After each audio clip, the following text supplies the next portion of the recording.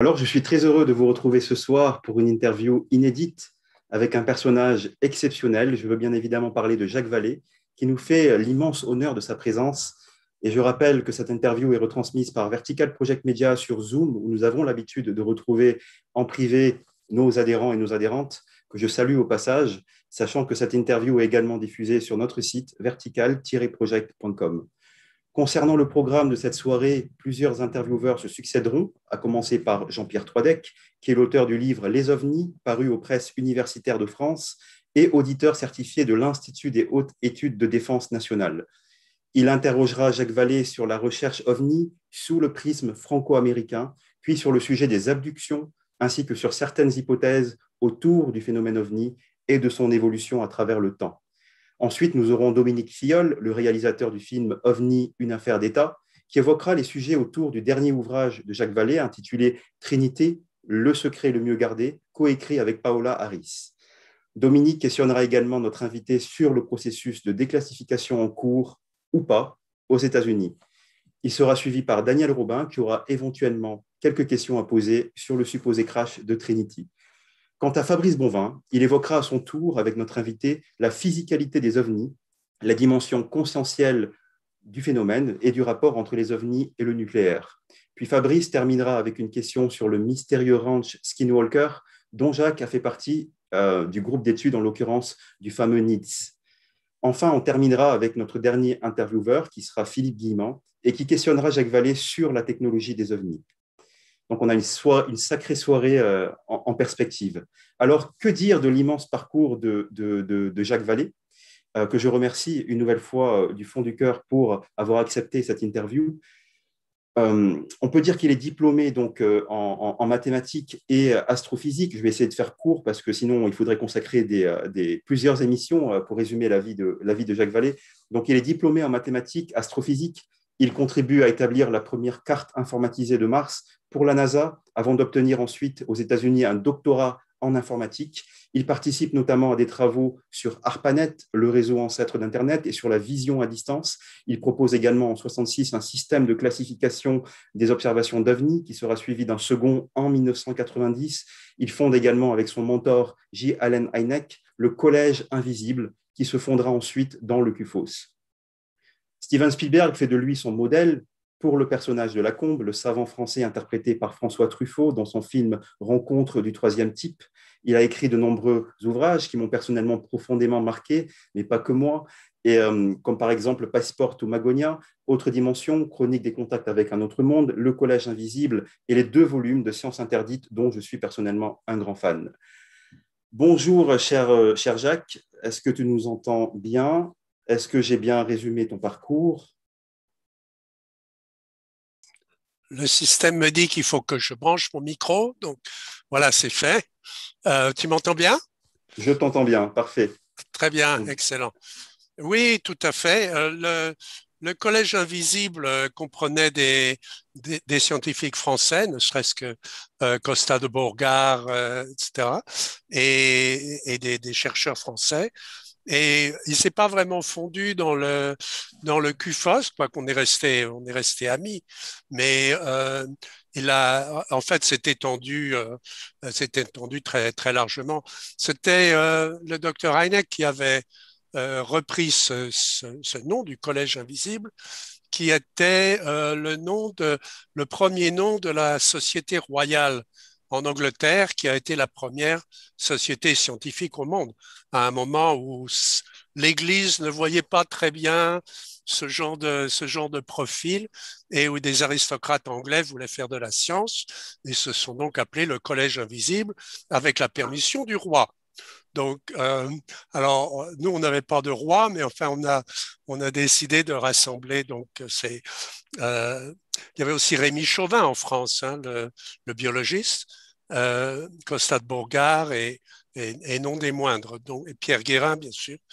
Donc, euh, la, ça a contribué à, à, nous permettre de discuter entre nous de sujets qui étaient un peu, un peu maudits, euh, et certains le sont toujours d'ailleurs. Merci Jacques pour ces, euh, pour ces précisions. Euh, je vais laisser la parole à, Jean-Pierre Troidec, donc qui va commencer l'interview, qui est le premier intervieweur. Jean-Pierre, est-ce que tu nous entends bien? Oui, le son passe. Est-ce que tout le monde m'entend? Super, on t'entend très bien. Bon, eh bien, Jacques, content de te revoir. La dernière fois qu'on s'est croisés, c'était en 2014 au sein du Képan, qui se tenait au sein à, à, Paris. Et puis sinon, ça remonte quelques années avant où tu étais venu à Lyon euh, faire une conférence dans le cadre de l'association SOS euh, OVNI, qui à l'époque organisait des rencontres internationales à Lyon. Donc voilà, là c'est un, un, bond dans le temps. Alors, très content de, t'avoir en, en, direct, c'est un, un honneur pour nous tous. Bien sûr, bon, on a prévu un certain nombre de questions, mais l'actualité nous rattrape. Donc, je vais commencer sur un sujet d'actualité qui sera repris ensuite par un de mes, de mes complices, Dominique Filleul. C'est le, le, fameux rapport du Pentagone qui est sorti il y a, il y a quelques jours. J'en oui. brièvement. Alors, ce rapport, la version en tout cas que nous avons possède neuf pages. Euh, un groupement qui s'appelle le Paradigme Recherche Group lui euh, affirme que théoriquement, ce rapport aurait dû comporter 73 pages, rappelant que c'était une commande de la Commission du renseignement et des forces armées de la Chambre et du Sénat. Euh, donc, on est un peu déconcerté de voir que le rapport qui nous est arrivé ne possède que six pages. Et je termine cette euh, introduction avec quelques réactions américaines. J'en note une première qui dit le rapport tant attendu sur les ovnis publié sans conclusion ferme. On a une déclaration du secrétaire de presse du Pentagone, John Kirby, qui lui va un peu plus loin. Il dit les incursions dans nos champs d'entraînement et dans l'espace aérien désigné posent des problèmes de sécurité des vols et des opérations. Et puis on a un, député républicain, Tim Burkett, qui dit que les ovnis viennent probablement de l'espace lointain et que ce ne sont pas des Russes. Alors, ce rapport, les neuf pages, que nous avons, plus un communiqué du Pentagone, est-ce que c'est vraiment le rapport dans sa totalité ou est-ce qu'il y a, comme certains l'affirment, une version classifiée, euh, donc d'environ 70 pages? Quelle est ta première réaction? Alors, il y a, euh, il y a effectivement une version euh, classifiée que, bien entendu, à laquelle je n'ai pas accès le, rapport a été lancé à la suite des observations du porte-avions Nimitz et, du, croiseur Roosevelt euh, qui, nous ont donné ces fameuses images euh, vidéo euh, filmées par, des chasseurs de la, marine américaine. Donc, ces images existent depuis 2004 donc, ce n'est pas quelque chose qui vient de se passer, mais c'est quelque chose qui a continué à intriguer la communauté, bien sûr, militaire et aussi la, communauté scientifique, puisqu'il y a des années que les images sont, que les films sont sur, euh, sur Internet. Donc, euh, tout le monde les a vus, euh, tout le monde les a commentés, et la, marine nous dit maintenant qu'elle n'a pas d'explication rationnelle pour ces images ni pour d'autres images qu'ils ont pu réunir euh, sur les deux côtes américaines. Euh, et donc, de, mon point de vue et du point de vue des, de mes collègues à qui je, parle tous les jours ici, euh, à Stanford et, autour de, la communauté qui, qui s'intéresse à la question, c'est quand même un grand tournant. Enfin, le fait qu'il y ait ce, rapport, qui est un rapport officiel au Congrès, euh, ça enterre un petit peu tout ce que le, rapport du comité Condon il y a, euh, euh, de nombreuses années qui avait enterré le sujet, qui disait que le sujet n'avait aucune importance scientifique, etc. Ce qui avait conduit à, à un blackout notamment dans les milieux scientifiques, mais, mais aussi dans les milieux militaires sur, sur la question. Donc, de ce point de vue-là, c'est très significatif. Le fait qu'il y ait un rapport, que ce soit une page, huit pages ou 80 pages, c'est un peu la même chose. C'est quand même une porte qui s'ouvre. C'est-à-dire, on reprend les choses et euh, la marine euh, a quand même le courage de, dire ce que l'Air Force n'a pas dit depuis longtemps, c'est-à-dire qu'il y a effectivement des objets inconnus autour de ces navires. Et non seulement ça, mais qu'il y a eu des, des, expéditions d'entraînement, euh, d'entraînement naval, etc., qui ont été supprimées à cause de l'interférence avec ces objets. Donc, euh, c'est quelque chose qui, est, euh, qui, interpelle au plus haut niveau. Alors, le côté négatif, si on veut dire que, bon, que la mariée n'est pas assez belle, etc., le côté négatif, c'est que euh, ne regarde que les cas des, cinq dernières années, c'est-à-dire les cas pour lesquels ils ont effectivement des, une convergence des capteurs, euh, capteurs radar, euh, infrarouge, visuel, etc. et il ne regarde pas le phénomène dans son ensemble. Ce qui, de notre point de vue à nous, chercheurs, est, est, bon, c'est dommage. Alors, est-ce que ça viendra plus tard? Bon, On verra ce que le Congrès va dire.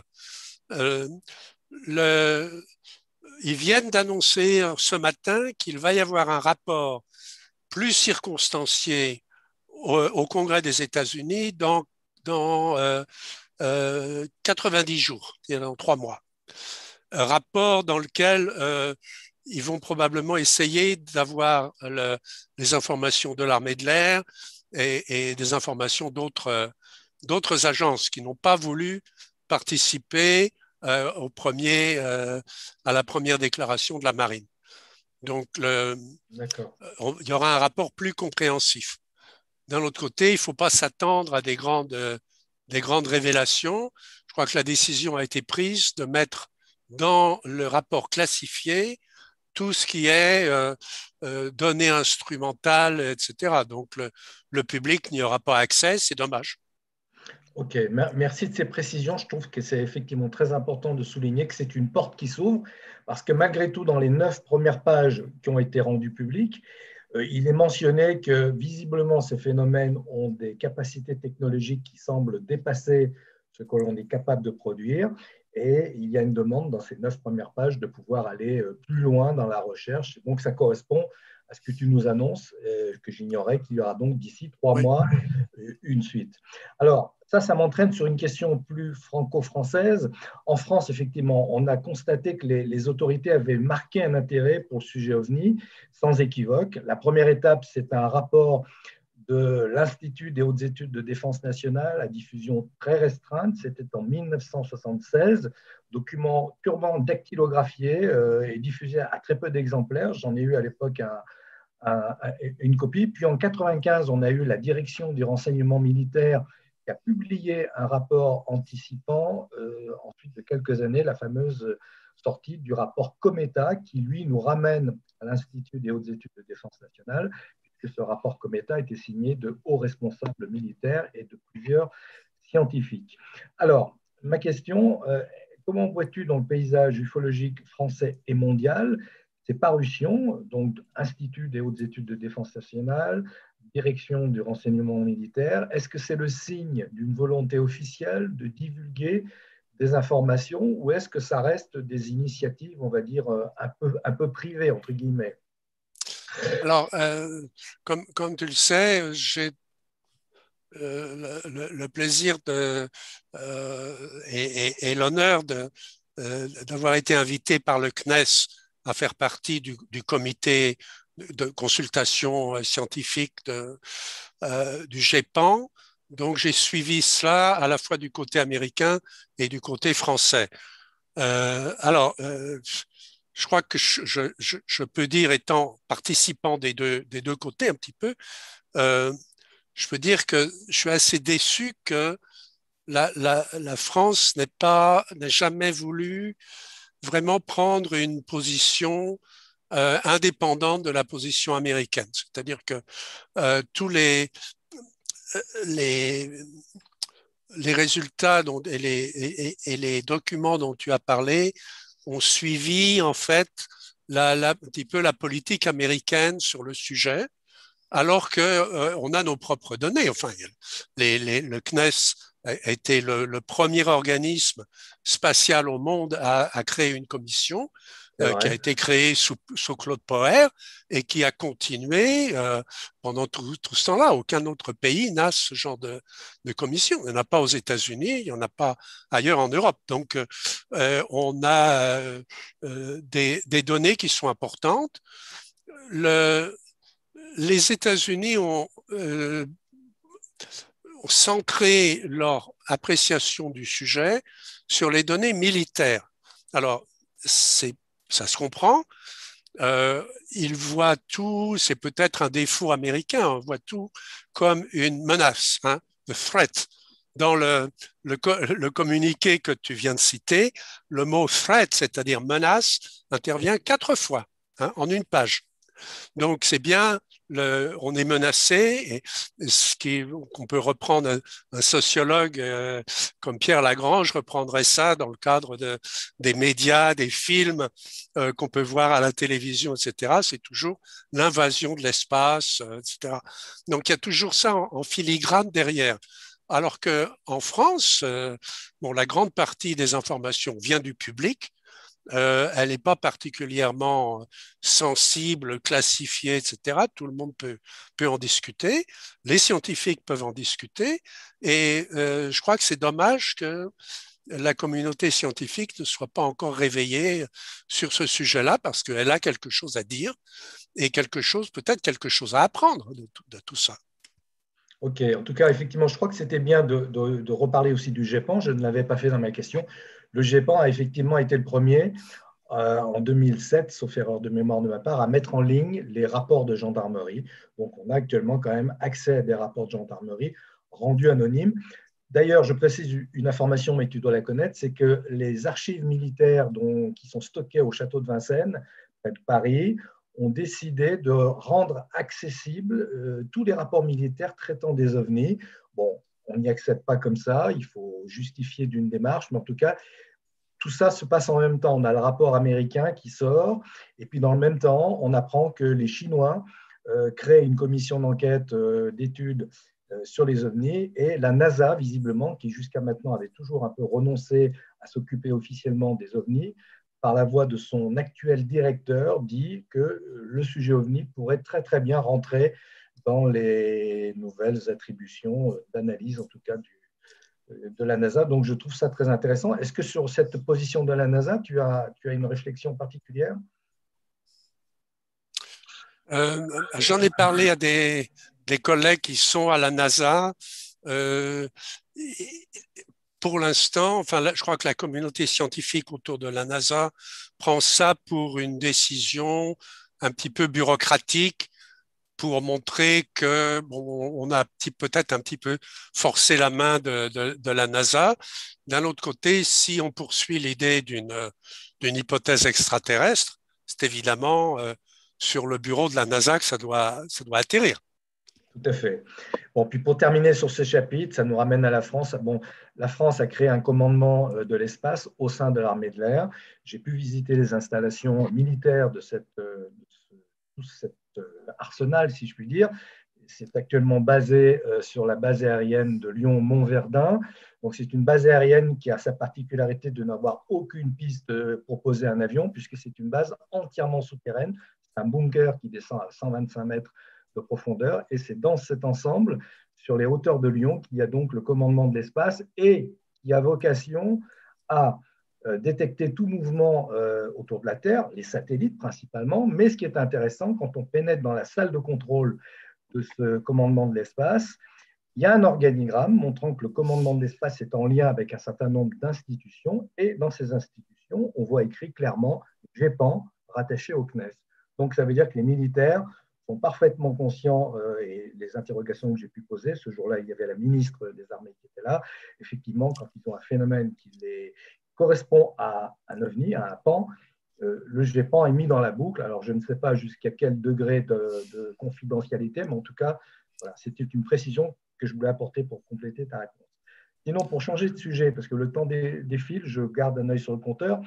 En France, et on en avait parlé à l'époque en 2014 au, au CAIPAN, au sein du CNES à Paris, la France compte 350 cas environ d'abduction, d'enlèvement supposé à bord d'OVNI sont recensés et parfaitement documentés. par un chercheur que je connais très bien depuis longtemps, Claude Mauger. Comment est-ce que tu appréhendes ces cas d'enlèvement supposés ovnis? S'agit-il de réalités physiques liées aux ovnis? Dans quel but? Ce que je note, c'est que les récits sont souvent simplistes, avec des incohérences physiques. L'intérieur de l'appareil qui est décrit est souvent plus grand que euh, sa taille externe. Euh, certains témoins disent subir des examens, mais qui sont faits avec des outils très rudimentaires. Alors, est-ce qu'on est en, en, présence de création mentale que les, physiciens nous expliqueront un jour, ou s'agit-il véritablement de rencontres physiques avec ce phénomène qui, nous échappe? Alors, c'est bien sûr un domaine qui est très controversé, qui euh, dépasse largement mes, mes compétences, comme, comme, tout le monde le sait.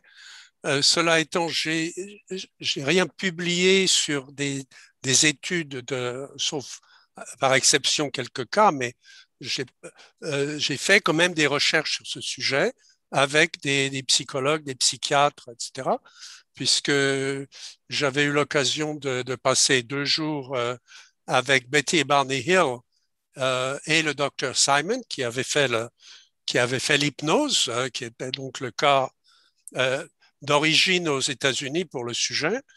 Euh, et, avec l'écrivain qui avait écrit le, livre sur le, euh, le, voyage interrompu, The Interrupted Journey. Il n'y a aucun doute que les témoins de ce genre de cas sont sincères, ils sont souvent terrifiés, leur vie change, euh, il y a une, euh, véritablement un impact sur, sur leur, vie personnelle et, parfois sur leur santé.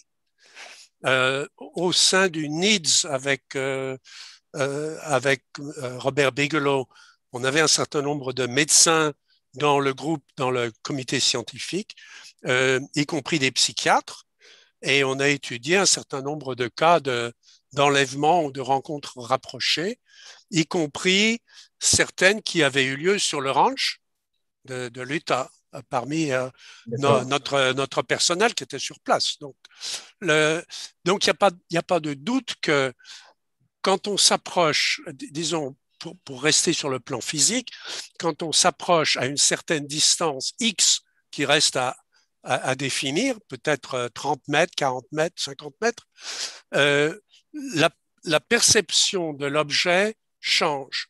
C'est quelque chose qui, avait beaucoup découragé Aimé Michel. Je crois que les, si on a des amis euh, dans le, sur cette conférence qui ont connu Aimé Michel, euh, ils se souviennent certainement de ça. Ils je, disaient on ne peut rien connu. dire parce que quand les témoins s'approchent, leur réalité change et l'objet prend le contrôle de leur réalité. Donc on ne peut pas croire à ce qu'ils racontent. Alors, c'est pas tout à fait vrai parce que parfois il y, a des, observations avec des enlèvements où il y a plusieurs témoins. Il y en a un qui est loin, il y en a un qui est près. Euh, le, cas, le fameux cas anglais de, de Bentwaters, c'est ce qui s'est passé avec, les soldats qui étaient sur place, les soldats américains qui étaient autour de, ces phénomènes. Donc, ce qui est très intéressant, c'est de pouvoir mettre justement en parallèle l'observation des gens qui sont proches et des gens qui sont à l'extérieur. Alors, on peut imaginer sur le plan physique que euh, les objets soient topologiquement très complexes, c'est-à-dire que euh, si, on, dépasse l'idée que c'est des fusées qui viennent de l'espace euh, et que c'est des gentils extraterrestres qui viennent nous voir, hypothèse que, bon, qui est toujours possible, mais il y en a d'autres des hypothèses. Par exemple, il peut y avoir une distorsion de l'espace-temps autour de l'objet. Si c'est un objet qui se, qui se déplace dans l'espace-temps, euh, au, au, terme de la, de la physique moderne, hein, le, s'ils émergent d'un trou noir, par exemple, parce que beaucoup de physiciens sont en train de regarder, pas à cause des ovnis, mais à cause de la physique, on peut imaginer qu'il y a une distorsion de l'espace et on ne sait pas ce qui arrive à la conscience humaine dans ce genre de choses. Par exemple, il peut y avoir un objet qui est de la taille d'un autobus à l'extérieur et qui est de la taille, de, la taille du Panthéon à l'intérieur. Bon, on apprend ça en topologie. Hein. Il y a des objets comme ça en, en mathématiques. il n'y en a pas beaucoup en physique, mais on peut les imaginer si on passe à des dimensions supérieures. Donc, euh, ce, genre de, choses est discuté par, euh, par les, les, astrophysiciens, par exemple. Donc, le, euh, je crois qu'il faut élargir les, les, hypothèses et pas simplement dire que si les gens ont vu quelque chose d'impossible, euh, c'est un phénomène psychiatrique. Je crois qu'on dépasse ce genre de choses. Euh, les, les quelques cas que j'ai étudiés moi-même sont des cas où j'ai emmené les sujets voir des psychiatres qui étaient spécialisés dans, dans l'hypnose, pas simplement quelqu'un qui faisait un peu d'hypnose euh, le week-end, mais des gens qui étaient vraiment spécialisés, qui traitaient des, des, des, des malades ou des, ou des patients qui, qui avaient des, euh, qui souffraient de stress, etc., et qui étaient traités par hypnose. Et euh, m'ont toujours dit que les, ces personnes disaient la vérité telle qu'ils l'avaient vécue. Alors, notre problème à nous, scientifiques, c'est de savoir est-ce que cette vérité correspond à quelque chose de physique et dans quelles conditions? Et je crois que le, sujet est complètement ouvert pour moi. Ok, en tout cas, je te remercie d'avoir parlé de, de, Aimé Michel, parce qu'effectivement, moi, moi, je, je l'ai côtoyé. Je, à l'époque, j'étais allé le rencontrer pour lui soumettre un certain nombre de cas d'enlèvement justement ou de contact et il m'avait euh, vivement engagé à continuer en disant il, faut, chercher dans cette direction, il y a sans doute une explication qui nous échappe. Donc c'était bien de lui rendre hommage. Euh, l'hypothèse extraterrestre au fil des années, l'hypothèse majeure si je puis dire, mais aussi la plus déroutante et la plus déstabilisante. Est-ce que raisonnablement on peut aujourd'hui admettre cette hypothèse comme vraie?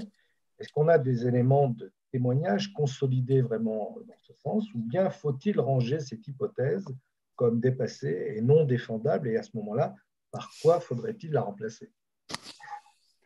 Alors, euh, euh, moi, ce que j'ai appris à l'école, c'est qu'une hypothèse, euh, une, une, une, déclaration qu'on fait à, propos de la physique n'est une hypothèse que dans la mesure où on peut la tester. Or, l'hypothèse extraterrestre, bon, l'univers est pas euh, est, est, infini à notre échelle. On admet aujourd'hui ce qu'on n'admettait peut-être pas généralement il y a 50 ans, mais que la vie doit être possible. Et maintenant, on a, effectivement découvert des, milliers de planètes euh, dont une certaine proportion, peut-être 10% ou moins, euh, peuvent soutenir la vie.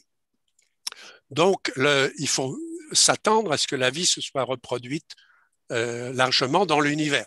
Donc, euh, euh, conséquence logique, puisque, puisque, nous, on envisage de voyager dans l'espace, dans l'espace-temps, euh, on ne peut pas interdire à d'autres formes de conscience dans l'univers de faire la même chose. Donc, de ce point de vue-là, oui, euh, l'hypothèse est toujours, sera toujours valable. Le, problème, c'est que elle correspond pas aux observations quand on prend l'ensemble des observations. Par exemple, les, objets qui apparaissent sur place à partir d'une petite lumière qui devient une boule de lumière qui se matérialise en un objet qui atterrit, qui laisse des traces physiques. Alors, à quel moment est-ce que euh, est-ce qu'on peut dire que c'est extraterrestre. Alors l'extraterrestre à quel degré? Parce que est-ce que ça veut dire que c'est un, objet qui vient physiquement d'une autre planète? Ou est-ce qu'il faut regarder ce que, l'astrophysique nous donne aujourd'hui, c'est-à-dire la possibilité d'univers parallèle euh, il, peut y avoir, euh, il peut y avoir une autre Terre qui est à cinq minutes en retard sur nous, euh, avec un passage de l'un à l'autre. Il peut y avoir des, il peut y avoir la, la, notion d'espace-temps euh, quand on parle des, des physiciens théoriques aujourd'hui qui sont vraiment à la pointe de la physique. Ils disent que l'espace et le temps sont des, des expressions secondaires d'une réalité plus profonde. Alors quand on leur dit qu'est-ce que c'est la réalité plus profonde que l'espace-temps, parce que ce qu'on voit, notre expérience humaine, c'est l'espace et le temps. Donc si on nous dit maintenant que ce n'est pas des quantités physiques, ça devient très, ça devient très intéressant. Alors, ils nous disent, bah, c'est le, c'est le, les phénomènes quantiques à une échelle, une certaine échelle, etc., qui produisent à un certain moment, pour une certaine personne, la sensation d'espace et de temps. Alors, si on va dans cette direction-là, on est très en avance sur les ufologues, on est très en avance, et sur les militaires qui, qui cherchent des cibles, euh, des cibles physiques. Donc, le, le, le, problème, quand on parle à ces gens-là, le, le, problème s'ouvre et il n'y a plus une seule hypothèse. Quoi qu'on a été, euh, on a été embrigadé, on a été euh, verrouillé dans cette idée que les ovnis, ou bien ça n'existe pas, c'est des rêves, etc., ou bien c'est des extraterrestres. Mais c'est pas vrai. C'est pas vrai. On a largement dépassé ce, cette, euh, cette, dualité, si, si tu veux. D'accord. Alors, certains avancent l'idée que le 19e, le 19e, siècle a connu le spiritisme, le 20e siècle les ovnis, toute l'imagerie extraterrestre qu'on a pu mettre autour, de quoi serait fait éventuellement le 21e siècle en termes de phénoménologie étrange? Les ovnis seraient-ils en passe d'être remplacés par un autre facteur X perceptible et, lequel? Alors, ça, ça, rejoint, je crois, d'autres questions sur est-ce que c'est un système de contrôle? Euh, alors, bon, ma, ma, position, encore une fois, c'est pas celle d'un physicien. Hein. J'ai fait de la physique, mais il y a, longtemps. Ma position, c'est celle d'un informaticien, d'un spécialiste de la, théorie de l'information. Donc, je cherche des, modèles, je cherche à, une, donnée particulière, je cherche à savoir à quel ensemble elle, appartient et les propriétés de cet ensemble. Euh, et quand on fait ce genre d'exercice, euh, comme tu sais, j'ai fait avec des bases de données, avec des, des modèles mathématiques, etc. Euh, on a l'impression d'un renforcement de certaines images qui sont empruntées à la culture d'une époque particulière. Au 19e siècle, c'était des cigares volants, un petit peu comme dans Jules Verne. D'ailleurs, on sait maintenant que Jules Verne s'était inspiré de toute cette littérature des, des journaux américains euh, où on voyait des cigares volants avec des voiles euh, qui, qui naviguaient dans le ciel et qui de temps en temps se posaient. Quand on regarde, alors évidemment, il y avait, il y avait des canulars parce que les journalistes euh, n'étaient pas toujours complètement honnêtes, mais il y a aussi des cas qu'on a pu regarder soigneusement parce qu'il y a des, archives qui restaient, des témoins qui avaient été interrogés, où on, sait qu'effectivement, il y a quelque chose qui s'est posé à cet endroit-là. Donc, on a une série d'images euh, qui culturellement étaient adaptées aux témoins de cette époque-là et qui, qui soulevaient les mêmes problèmes que les ovnis soulèvent pour nous maintenant. Euh, donc, il y, a, il y, a, un phénomène culturel, sociologique, etc., qui, qui, qui est très intéressant. Alors, je termine par la dernière question. on a dépassé quelques minutes. Effectivement, tu parlais du 19e siècle avec l'inspiration de, Jules Verne, des cigares volants. Dans les années 50, l'âge d'or du cinéma américain, de science-fiction, le début de la guerre froide. Et là, on voit des objets manufacturés en forme de soucoupe. Euh, durant les années 60, on a l'apogée de la conquête spatiale. Donc, les objets se viennent plus tôle et boulon, si je puis dire, en forme de triangle, notamment au moment de la première guerre du Golfe, quand l'Amérique déploie des avions furtifs triangulaires. Et puis, depuis les années 2000, on a plutôt à faire à des phénomènes qui ressemblent à du plasma, et ça au moment même où le monde bascule vers des recherches avancées sur les lasers et autres supports euh, holographiques de pointe. Alors, est-ce que le phénomène, ce sera ma dernière question, se joue des témoins et copie leur environnement? Ou est-ce que des témoins influencent euh, ce phénomène en fonction de leur spectre euh, socio-culturel? Quelle serait la bonne hypothèse sur cette question un peu, multiple? Euh, Alors, à, ce niveau-là, je crois que la, référence pour moi, quand j'essaie, encore une fois, je suis en dehors de, mon domaine, c'est exact que depuis une trentaine d'années, on a beaucoup de rapports, y compris aux États-Unis, mais aussi en France, y compris un rapport récent qu'on a regardé au GEPAN, au CNES, de, grands triangles noirs avec des lumières. Donc, ils n'essayent pas de se cacher. Il y, a eu un, rapport qu'on a, bien regardé sur lequel on a, on a séché au CNES sur un triangle noir passant au-dessus d'une installation nucléaire française, d'une usine nucléaire, hein, ce n'était pas, militaire, mais au-dessus du périmètre de la, de l'usine, vu par deux ouvriers qui étaient à l'extérieur, qui ont d'ailleurs essayé de le filmer. Il n'y a aucun doute que c'est arrivé. Donc, euh, et aux États-Unis, on a eu un grand nombre de, on a un grand nombre de cas comme, comme celui-là, des, des, objets qui sont, euh, qui sont gigantesques, qui, sont très grands. C'est pas les triangles de Belgique qui étaient des relativement petits objets euh, la, taille d'un chasseur. Euh, là, c'est vraiment des grands triangles qui ne sont pas cachés, qui sont, très larges dans le ciel, qui en général sont noirs, mais avec des feux de position. Euh, alors, c'est une, forme nouvelle de d'OVNI sur laquelle qu'on a beaucoup regardé avec le, le NIDS de, de Bigelow. Euh, on a créé une base de données là-dessus euh, et on n'est jamais arrivé à une conclusion. Est-ce que c'est une nouvelle forme du phénomène? Est-ce que, comme le disait Carl Jung, c'est un, euh, phénomène qui, qui s'adapte en nous présentant des archétypes, hein, donc la, sphère, le cercle, le triangle, etc. Cela étant, dans le livre qu'on vient de publier, l'objet était, était pas du tout une soucoupe. Et d'ailleurs, euh, j'ai essayé de le mettre en parallèle avec l'objet de Socorro euh, et l'objet de Valençol, qui sont donc, trois cas qui ont été très étudiés, sur lesquels on a beaucoup de données, y compris des études officielles. Dans les trois cas, il n'y avait pas de disque. Euh, dans le cas de San Antonio au Nouveau-Mexique en 1945, donc deux ans avant euh, Roswell. Euh, il n'y avait pas eu l'observation de Roswell, il n'y avait pas eu Kenneth Arnold. Euh, on est deux ans avant 1947.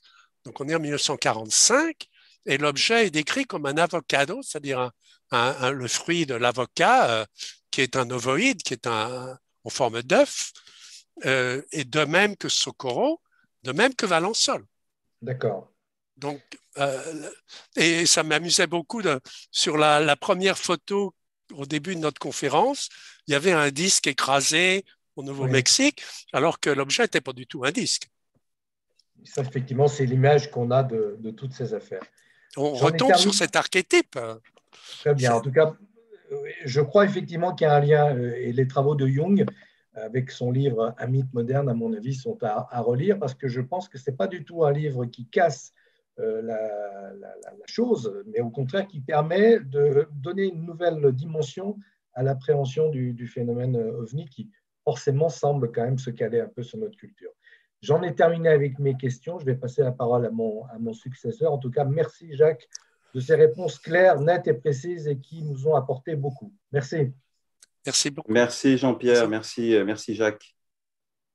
Donc on va donner la parole à Dominique qui va enchaîner sur euh, ton dernier ouvrage donc sur Trinity. Dominique, est-ce que tu nous entends? Je vous entends très bien, vous m'entendez? Super, parfait, on te voit bien, on t'entend bien. À tous. Bonsoir Jacques. Bonsoir. Euh, alors, est-ce que tu peux nous présenter donc euh, le, sujet de, ton dernier livre? Alors, le, d'ailleurs, voilà la, voilà la couverture en, en français. Hein. Donc, euh, je, travaille nuit et jour à faire la traduction euh, en espérant que le, livre sorte en France euh, à mi-juillet à peu près. Donc, on, est, on est presque prêt. J'ai été longtemps accusé par, mes, amis et collègues de ne pas m'intéresser au crash d'OVNI. Euh, c'est pas que ça m'intéressait pas, c'est que les données euh, c'était difficile de trouver un point de, d'entrée dans, dans, les données. Je connaissais bien Stanton Friedman et des gens comme ça. Euh, j'ai lu les bouquins sur Roswell, etc. Mais il n'y avait pas de témoins qui étaient là au moment du crash.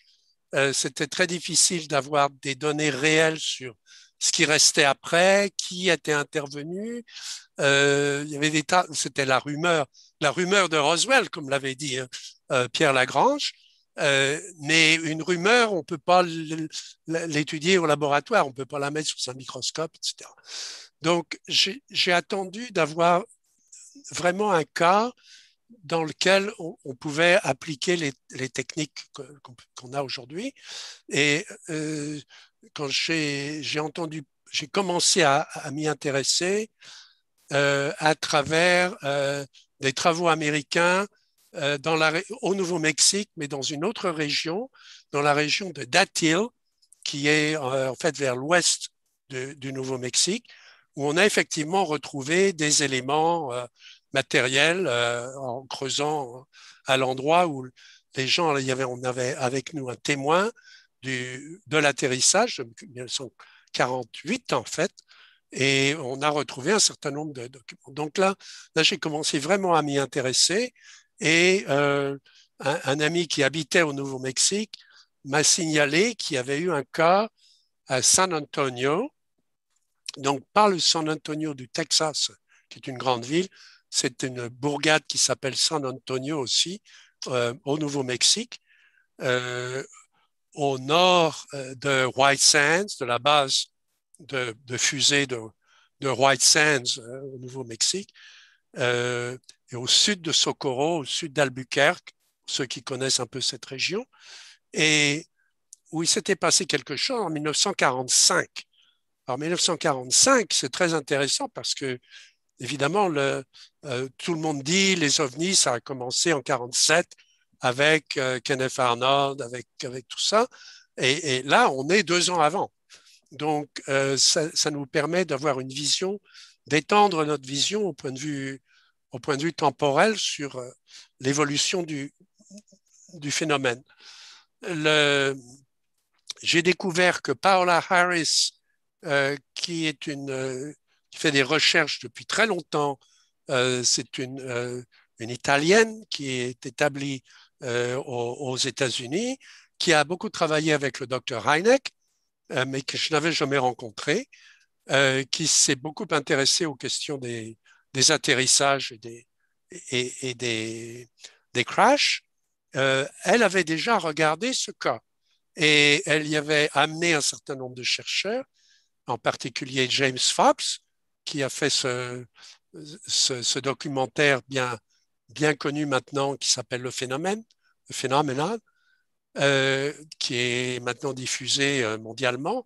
il, il, était allé sur place, mais le, sujet n'avait pas l'air très intéressant parce que les témoins disaient rien. Donc, euh, il y a des témoins qui avaient, été interrogés, mais ils étaient très vagues sur ce qu'ils avaient vu et en fait, ils ne voulaient pas faire de rapport. Et euh, Paola Harris a réussi à, les faire parler et à les rencontrer.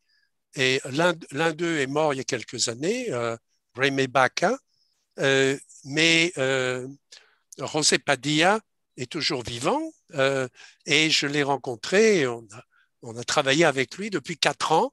Donc, depuis quatre ans, on est allé sur place. J'y suis allé plusieurs fois, j'y suis allé cinq fois euh, pour recueillir les témoignages et pour, pour euh, faire des investigations sur le terrain. Ce qu'ils ont vu, ce qui est extraordinaire dans ce cas et qui, mérite vraiment l'attention de, la communauté scientifique, c'est que euh, les témoins étaient sur le terrain avant que l'objet arrive. Euh, ils avaient 9 euh, ans et 7 ans. C'était donc en 1945, deux, deux jours, trois jours après la, la capitulation du Japon. Donc les, les, troupes étaient encore en uniforme, hein. les, les, soldats n'étaient pas revenus chez eux. Euh, ces deux enfants euh, avaient la charge de surveiller le bétail sur les terrains de leur père. Donc, ils, étaient, ils connaissaient très bien le terrain. Euh, il y avait un troupeau sur le, sur le, euh, sur le terrain. ils étaient chargés de réparer les barrières et de surveiller le troupeau. De, compter les animaux, etc. Donc, ils, avaient des jumelles qui étaient des, jumelles performantes. Ils savaient s'en servir. Ils savaient, ils conduisaient la voiture, ils conduisaient le camion familial. À, 9 ans, on peut conduire un camion. Donc, le, à cette époque-là où il y avait très peu d'adultes il fallait bien que la vie continue dans la campagne, dans les fermes, dans les, dans les exploitations agricoles, etc. Donc, c'était les, enfants qui avaient cette responsabilité, euh, qui, était, une responsabilité sérieuse. Donc, ils étaient sur place parce que leur père leur avait recommandé de, retrouver une vache qui, allait avoir un veau, et effectivement, ils l'ont retrouvé. Euh, donc, euh, dans ces cas-là, bien entendu, on marque les animaux, etc. Donc, ils, étaient sur place et il y a une, détonation, il y a un, bruit, il y a un objet qui arrive, qui heurte une tour qui était une tour de, radio euh, qui, servait à, qui servait de repère pour les pilotes parce que euh, bon, on, est à, une altitude d'à peu près 2000 mètres. Hein. Donc, il y a déjà, euh, déjà un, problème atmosphérique pour les avions et le, terrain est très vallonné euh, très escarpé même. Et il y avait souvent des, accidents d'avion au, Nouveau-Mexique à cause de cette différence atmosphérique, etc. Donc, il y a cette, cette grande tour, l'objet heurte la tour, n'explose pas en vol, reste, garde son intégrité. Il y a un panneau qui, qui est éjecté de l'objet, donc on va retrouver plus tard des, euh, traces physiques. L'objet continue apparemment en, propulsion, et, il ne s'écrase pas sur place. Il fait un espèce de vol plané. Il, arrive sur la Terre, il creuse un boulevard sur euh, plusieurs centaines de mètres et, il arrive contre une, une butte, contre une petite colline, et il s'arrête à cet endroit-là. Les enfants, à, l'époque, évidemment, il y avait des accidents d'avion, on entendait parler d'accidents, c'était encore la guerre, etc. Donc, ils savent que la première responsabilité quand on est témoin, c'est de porter aide euh, euh, à l'équipage donc, il se précipite pour essayer d'aider et il se trouve devant une scène qui les dépasse complètement parce que l'objet est un ovoïde. Ils vont le décrire comme un avocado, hein, un avocat, euh, c'est-à-dire un, fruit ovoïde, un peu comme un, œuf, mais euh, un œuf de grande dimension, de la dimension d'un grand camion, euh, qui, faisait à peu près 3 mètres de haut il y a une partie qui est éventrée, à travers laquelle ils voient des petits hommes, ce qu'ils appellent des petits hommes, qui sont à peu près de leur taille, c'est-à-dire, euh, disons, 1m20 à peu près, 1m20, 1m30, euh, qui semblent euh, être complètement désorganisés, enfin, ils se déplacent d'un endroit à l'autre. C'est pas très clair ce qui se passe. Ils n'ont pas l'air blessés, ils n'ont pas l'air morts ou, mourants, euh, mais les enfants n'osent pas s'approcher devant cette scène et euh, ils rentrent chez eux, ils font un rapport à leur père. Le lendemain, ils ne sont pas sur le site parce qu'ils ont autre chose à faire, mais leur père revient sur le site avec eux le surlendemain avec un policier de l'État du Nouveau-Mexique. Les créatures sont plus là, l'objet est toujours là, dans l'intervalle, il semble qu'il y a eu un équipage de l'armée de l'air. Il n'y avait pas d'armée de l'air américaine à l'époque. Il y avait des pilotes qui étaient rattachés à l'armée régulière. Donc, il y avait un, organisme qui s'appelait des Army Air Force, c'est-à-dire la force aérienne de l'armée. Euh, l'armée de l'air américaine ne sera créée que euh, deux ans plus tard, hein, après 47. Donc, euh, c'est des, gens, donc des pilotes de l'armée qui avaient vu l'ensemble des choses et on a leur témoignage. Donc, on a un témoignage qui recoupe ce que disent les enfants parce que la, tour de contrôle de, du terrain d'Alamogordo avait demandé au pilote de cet avion, qui était un bombardier, euh, en, entraînement, de regarder ce qui était arrivé à la tour parce qu'ils avaient perdu la communication avec cette tour. Alors, le, le terrain euh, donc euh, cette exploitation agricole n'est pas exactement, c'est pas un terrain militaire, mais elle fait partie de l'ensemble de White Sands euh, étendu, donc tout autour de la base militaire de White Sands, qui est énorme. Hein, c'est une, superficie absolument énorme. Donc cette, tour radio qu'ils ont appelée la tour Marconi, en fait, était, était, importante pour les communications aériennes. Donc, il demande au pilote de regarder la tour. Donc, il, va voir, vérifier la tour, qu'il y a effectivement un problème avec la tour, qu'elle a été endommagée, et il voit les, deux enfants sur le terrain, et il voit qu'il y a eu un accident parce qu'il y a de la fumée. L'objet n'a pas pris feu, mais l'objet a créé un incendie dans la végétation euh, qui est sur place. Donc, il y, a de la, fumée et le pilote décrit tout ça. Donc, on a des, observations qui se recoupent, ce qu'on n'a pas à Roswell, ce qu'on n'a pas dans les autres cas. Donc, là, on a véritablement des témoins qui sont sur place, qui connaissent très bien le terrain et dans les sept jours qui suivent, ils vont être sur place et ils vont essentiellement regarder ce que font les soldats les soldats vont arriver avec un camion pour reprendre, pour emmener cet objet. Ils vont être obligés de créer, de construire une espèce de grue une espèce d'architecture pour redresser l'objet et le charger sur le camion. Donc, ils vont amener une grue euh, et les, les, enfants sont sur place et ils voient tout ça. Donc, ils se cachent dans les buissons. Évidemment, c'est fascinant pour eux. Donc, on a, les, on a ces témoignages et le, euh, José Padilla, qui est que je, que je connais bien maintenant, enfin que euh, je l'ai euh, rencontré sur place, on est allé sur place cinq fois avec lui et avec euh, Paola Harris, euh, et on sait vraiment. Alors pourquoi, pourquoi est-ce que le, le cas n'a jamais été étudié dans la littérature? Ben, C'est très simple. Le, les militaires ont repris l'objet et ils l'ont ramené vers White Sands sur un camion à 18 roues et on n'en a plus jamais entendu parler. C'est pas dans les dossiers de l'armée de l'air, c'est pas dans les dossiers du Pentagone. Il n'y a eu aucun livre sur le sujet. L'objet a simplement disparu, était escamoté, euh, et les témoins n'ont jamais parlé. Jamais. C'est-à-dire deux ans, deux, ans après, il y a eu Roswell. On aurait pu croire que qui dirait, ne serait-ce que pour se faire mousser un petit peu, euh, qui a dit, nous aussi, on a vu quelque chose. Jamais. Ils sont restés euh, complètement muets sur la question pour plusieurs raisons. Une des raisons étant qu'ils avaient été, enfin en tout cas José Padilla, était rentré dans l'objet et il voulait un souvenir.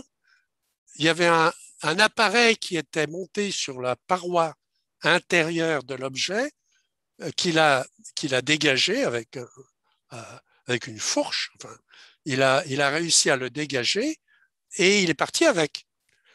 Alors, il faut replacer ça dans, dans, dans l'époque. D'abord, ces, ces, enfants étaient, euh, étaient très dégourdis. Hein. Il n'y a a pas de question là-dessus.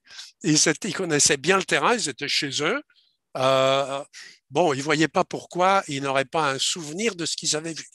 Donc, il y a trois personnes qui sont rentrées dans cet objet. Ce n'est pas, pas une abduction, ils sont rentrés de leur propre volonté. Le père de José, euh, Faustino Padilla, euh, y est allé avec le policier. Ils n'ont jamais dit aux enfants ce qu'ils avaient vu à l'intérieur, mais José m'a dit qu'ils étaient sortis complètement choqués et ils ont dit aux enfants, bon, ce truc-là, on n'en parle pas, on n'en parle jamais, euh, c'est pas quelque chose donc il faut raconter. Euh, c'est quelque chose de terrible et, et c'est tout ce qu'ils ont dit. Ils n'ont pas dit ce qu'ils avaient vu. Mais euh, à la fin, le dernier jour, quand l'objet n'était pas, pendant un certain temps, l'objet n'était pas surveillé, euh, donc José lui-même, à 9 ans, est rentré dans l'objet et il a pris cette, cette, cette sorte de, d'objets qu'il a, qu'il a réussi à dégager de la paroi de, de l'engin. Donc, il n'allait pas raconter ça aux militaires. Donc, pour toutes ces raisons, ils n'ont jamais parlé. Ils ont été séparés ensuite. Euh, Rémé Baca est parti vers le, dans l'État de Washington. José s'est engagé plus tard, quand il était adolescent, euh, il est parti à la guerre en Corée. Euh, donc, il, a rejoint l'armée américaine. Et, ensuite, il a fait sa carrière de, de, policier de la police de la route de l'État de Californie. Donc, ils ont perdu le contact et ils ont été recontactés que quelques, il y a quelques années. Et c'est là que euh, Paola Harris a réussi à les interviewer. Alors, pourquoi est-ce que le cas est important? Ben, Je l'ai dit, les témoins étaient sur place. On a des traces physiques, on a la description complète de ce que l'armée a fait euh, pour, le, pour le récupérer. Il n'y a pas de doute que ce n'était pas un ballon, euh, un ballon sonde. Euh, et donc, on a, on a tous ces éléments sur lesquels on peut vraiment faire une, une enquête approfondie. Alors, bien entendu, chaque fois qu'on découvre quelque chose, ça pose d'autres questions sur quel genre de métal, quel genre de propulsion, comment on peut expliquer que, cet objet fait cette trajectoire, et surtout, est-ce que c'est vraiment juste un accident ou est-ce que c'est un signal? Parce que la première bombe atomique venait d'être testée à 25 km de là par Oppenheimer, Enrico Fermi, les prix Nobel qui étaient là, les physiciens, avaient testé la première bombe euh, au plutonium, euh, qui a été lancée ensuite sur Nagasaki. Euh, la bombe d'Hiroshima était une bombe relativement classique à l'uranium. la bombe de Nagasaki avait, était une bombe complexe avec deux systèmes de, de mise à feu qui avaient besoin d'être testés. Les scientifiques n'étaient pas sûrs que ça allait marcher, donc ils ont fait cette expérience au Nouveau-Mexique, à White Sands, euh, sans avertir la population. Et euh, les, enfants et leurs familles étaient à 25 km de là. Donc le, président Truman venait d'annoncer au monde que la première bombe atomique avait été développé par les États-Unis et avait été utilisé au Japon. Et euh, l'empereur du Japon venait de capituler deux jours avant. C'est difficile de ne pas voir la connexion historique. Tout d'un coup, il y a un objet qui arrive, qui arrive de nulle part, que personne ne peut comprendre. On ne voit pas son mode de propulsion. Il n'y a pas d'hélice, il n'y a pas de réacteur, il n'y a pas de fusée, il n'y a rien. Les, enfants, le dernier jour, l'objet est couché sur le, euh, sur le, le, trailer, hein, sur, le, euh, sur le camion. Euh, donc, ils voient la partie inférieure qu'ils n'avaient pas vue avant. Dans la partie inférieure, il n'y a pas d'orifice, il n'y a rien. Euh, c'est un, euh, il y a un espace d'à peu près 90 cm qui doit contenir, s'il y a un système de propulsion, il doit se trouver à cet endroit-là sous le, plancher, disons, de, l'objet et on ne comprend pas du tout quel genre de propulsion peut, peut, euh, peut être en jeu à, ce niveau-là. Donc, c'est une observation extrêmement riche, qu'on on peut recouper de plusieurs façons différentes, puisqu'on a, même retrouvé un troisième témoin euh, et euh, qu'on a, pu interviewer sur euh, les traces qui avaient été laissées sur le terrain après, tout cela. Donc, on a vraiment un faisceau d'éléments physiques qui permettent véritablement de discuter du cas en détail. J'étais un peu long, hein, mais tu me posais la question de c'est vraiment de ce qui s'était passé dans ce cas. C'est un cas extrêmement riche, euh, donc euh, on espère que ça ça pourra réveiller un petit peu la communauté scientifique parce que là il y a quelque chose il y a quelque chose à discuter. Ouais, c'est passionnant, Jacques. Hein. Merci beaucoup. Euh, si je peux me permettre, juste merci Jacques pour toutes ces infos, parce qu'on a aussi 398 euh, personnes connectées sur YouTube et pas mal de questions. Et j'ai trouvé une question très intéressante, à savoir ce qui est devenu l'objet qu'a récupéré l'enfant. Je ne sais pas si tu, si tu as répondu à cette question. Alors cet euh, objet, on l'a. il m'a été confié par José Padilla. donc, on l'a en Californie. On a, bon, je ne travaille pas tout seul, hein, bien entendu. Je travaille avec une équipe de, scientifiques, des physiciens, des médecins. le, donc, on est en train de le tester et euh, on a un petit désaccord à ce sujet. Pour moi, l'objet a été analysé, hein, donc euh, on, sait de quoi il est fait. Euh, c'est un alliage totalement, totalement lambda, totalement, totalement connu.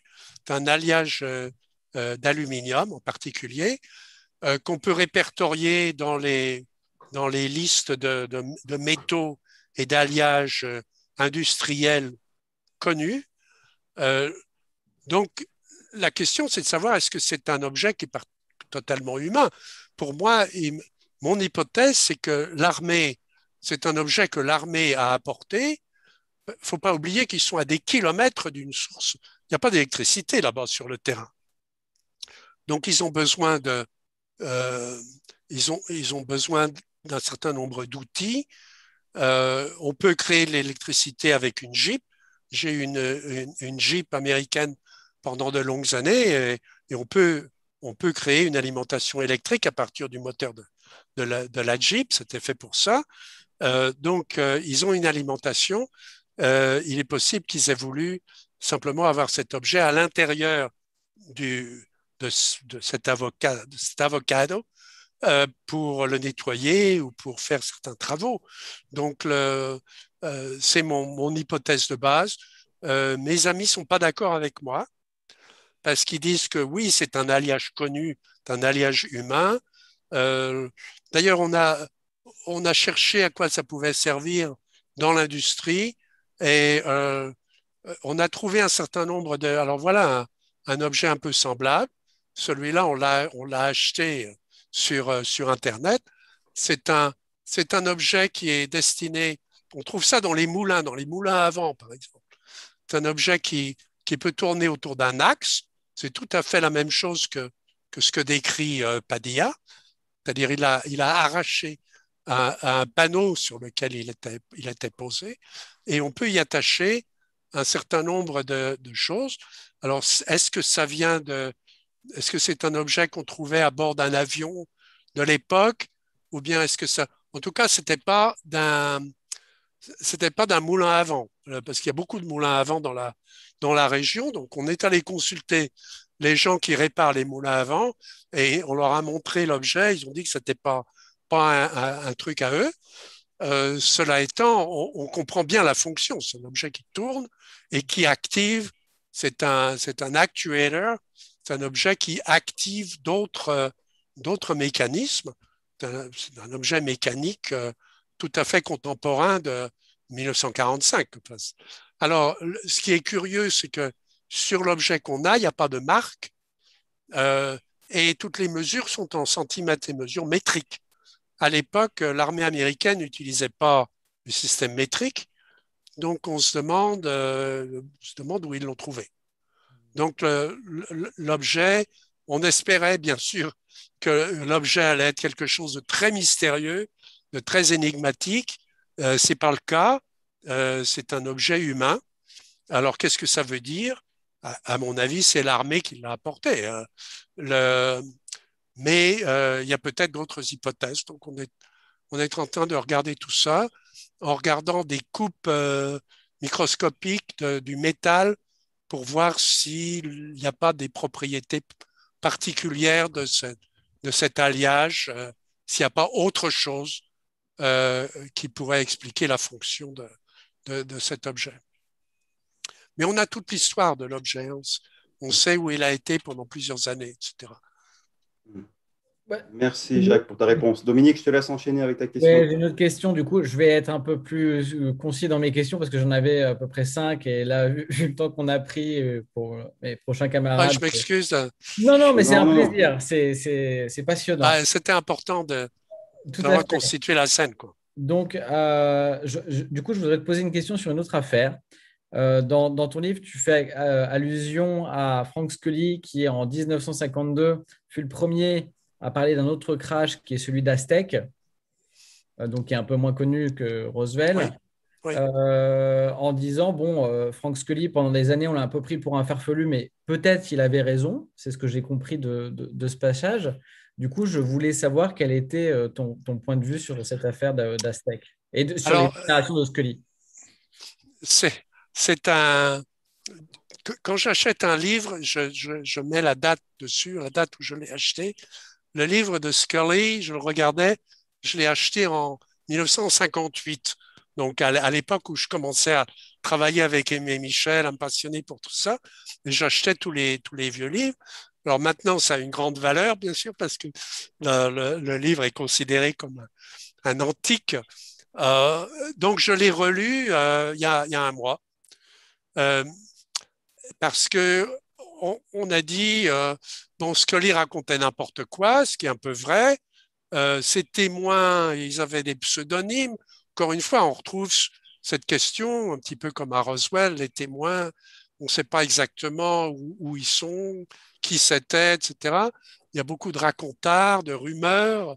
Euh, et, mais bon, ce qui décrit sur Aztec, on sait maintenant, parce qu'il y a eu des, des études faites sur le terrain par des, chercheurs américains qui sont allés, un petit peu comme nous, on est allés sur le, sur le terrain à, San Antonio. Euh, et il y a eu véritablement quelque chose à Aztec. Alors, le, donc, ce que raconte Scully est en tout cas en grande partie vrai. Euh, et il a effectivement parlé à des vrais témoins du, du crash d'Aztec, à mon avis. Donc, on a été euh, un petit peu rapide à le condamner euh, parce qu'à l'époque, ça semblait complètement fantastique, cette histoire. Euh, et maintenant, ben, on s'aperçoit que oui, c'était fantastique, mais quand on le met en rapport avec les autres phénomènes qu'on connaît maintenant, qu'on a pu vérifier dans la région, ça fait partie d'un ensemble. Alors le problème à Aztec, c'est qu'il reste rien. Euh, l'armée est arrivée et a, emmené, euh, tout, ce euh, qui était sur le terrain. Ils ont nettoyé profondément. donc, c'est difficile de retrouver des traces physiques. Encore une fois, dans, dans, les discussions avec des physiciens, avec le professeur Sturrock, par exemple, avec l'équipe de Rockefeller, les physiciens nous ont dit, c'est passionnant ce que vous nous dites, il y a probablement quelque chose, mais vous m'avez rien donné que je peux emmener dans mon laboratoire. Et ça, c'est une réponse normale, c'est une réponse normale de scientifique. Donnez-moi quelque chose que je peux mettre sous un microscope, sous un rayon X, sous une radiation, etc. Mais euh, vous me racontez une histoire, elle me passionne, mais euh, moi, je peux rien faire. Donc, à, Aztec, c'est un petit peu le problème. Euh, on sait qu'il s'est passé quelque chose, mais l'objet est parti et c'est les militaires qui l'ont quelque part. Oui, pour, l'objet, en effet, il, a disparu. Mais dans un récent reportage de, de Ross Coulart, euh, qui, a parlé du crash d'Aztec, on... alors, c'est peut-être des bêtises, hein, je veux dire, euh, aujourd'hui, on n'est pas à l'abri de, de, canulars, etc. Mais il montre dans son reportage l'impact, en fait, le premier impact aussi, un peu comme Trinity, l'objet semblerait avoir rebondi une première fois sur la Mesa. Et euh, donc, il, montrait clairement un impact. Donc, je me demande si d'un point de vue scientifique, on ne pourrait pas peut-être récupérer un petit bout de roche et voir s'il euh, n'y a pas des résidus ou quelque chose, ou même analyser la roche et dire, bah là, il y a eu un impact vraiment. Parce qu'un trou dans une roche, on peut dire, avoir de l'imagination et dire, bah, il s'est potentiellement passé quelque chose, mais en fait, c'est rien, c'est de la géologie qui est là, qui est, qui est naturelle.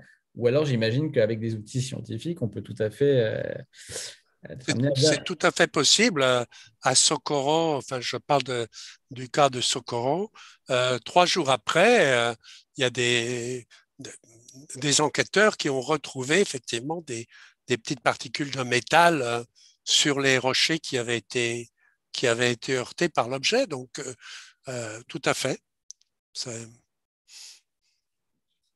Merci Dominique. On va passer à Fabrice Bonvin et puis tu reviendras éventuellement si tu as des, euh, tu as des questions restantes. Donc, euh, Fabrice, j'active ton micro. Est-ce que c'est OK pour toi?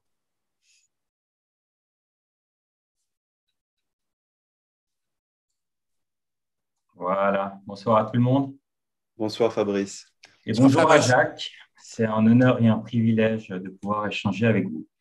Alors, j'ai quatre questions. Euh, la première est la suivante. Au mois de décembre 2020, vous étiez sur le plateau de Joe Rogan en compagnie du réalisateur James Fox et vous avez dit ceci, alors je traduis, vous avez dit le schéma mondial d'apparition des ovnis s'assimile à un programme de renforcement des comportements.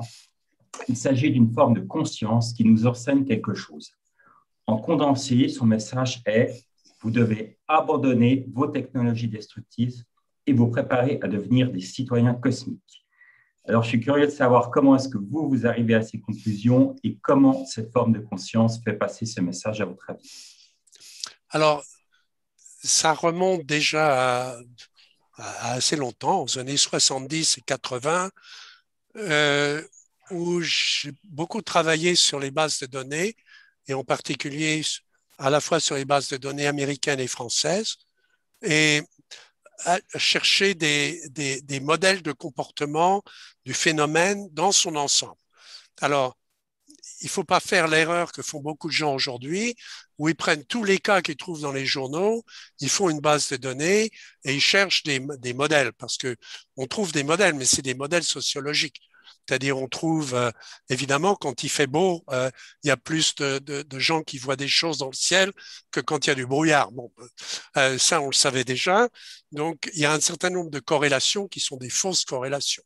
Aussi, quand il y a un film à la télévision qui, qui parle des ovnis.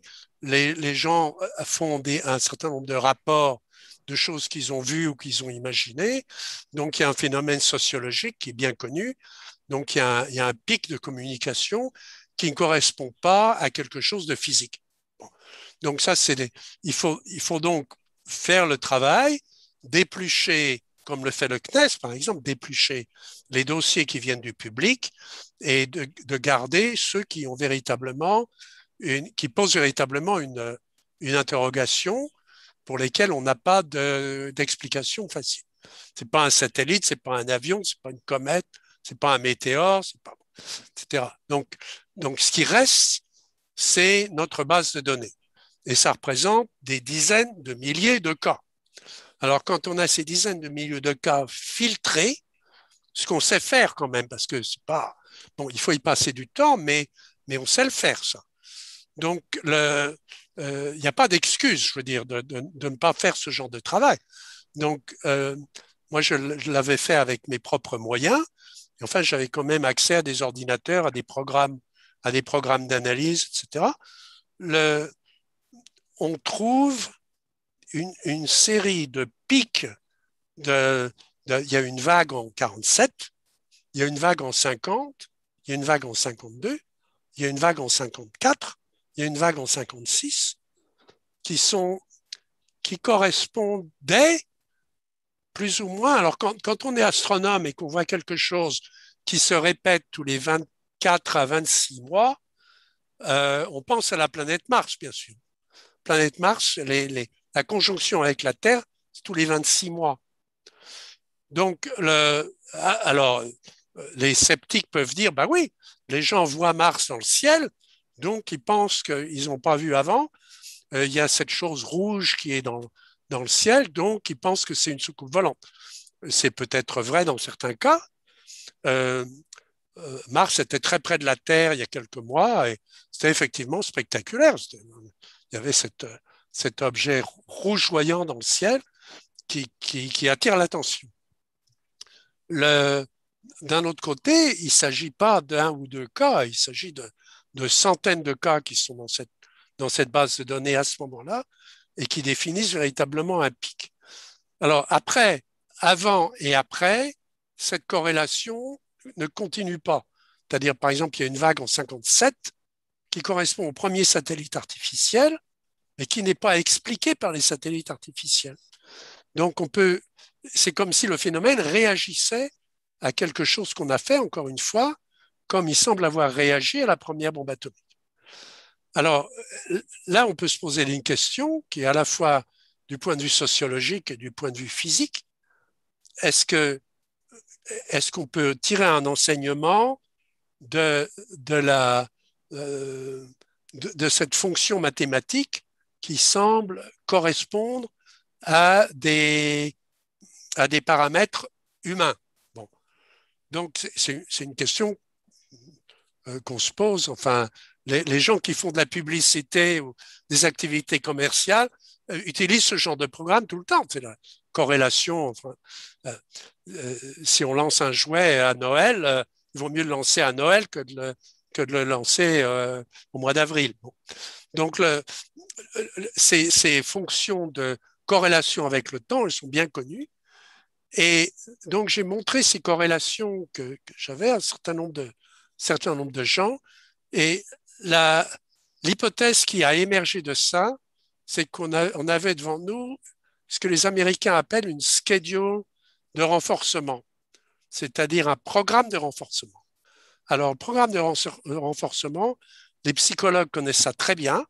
Ça remonte à un psychologue américain bien connu qui s'appelle Skinner, qui a publié des, livres là-dessus.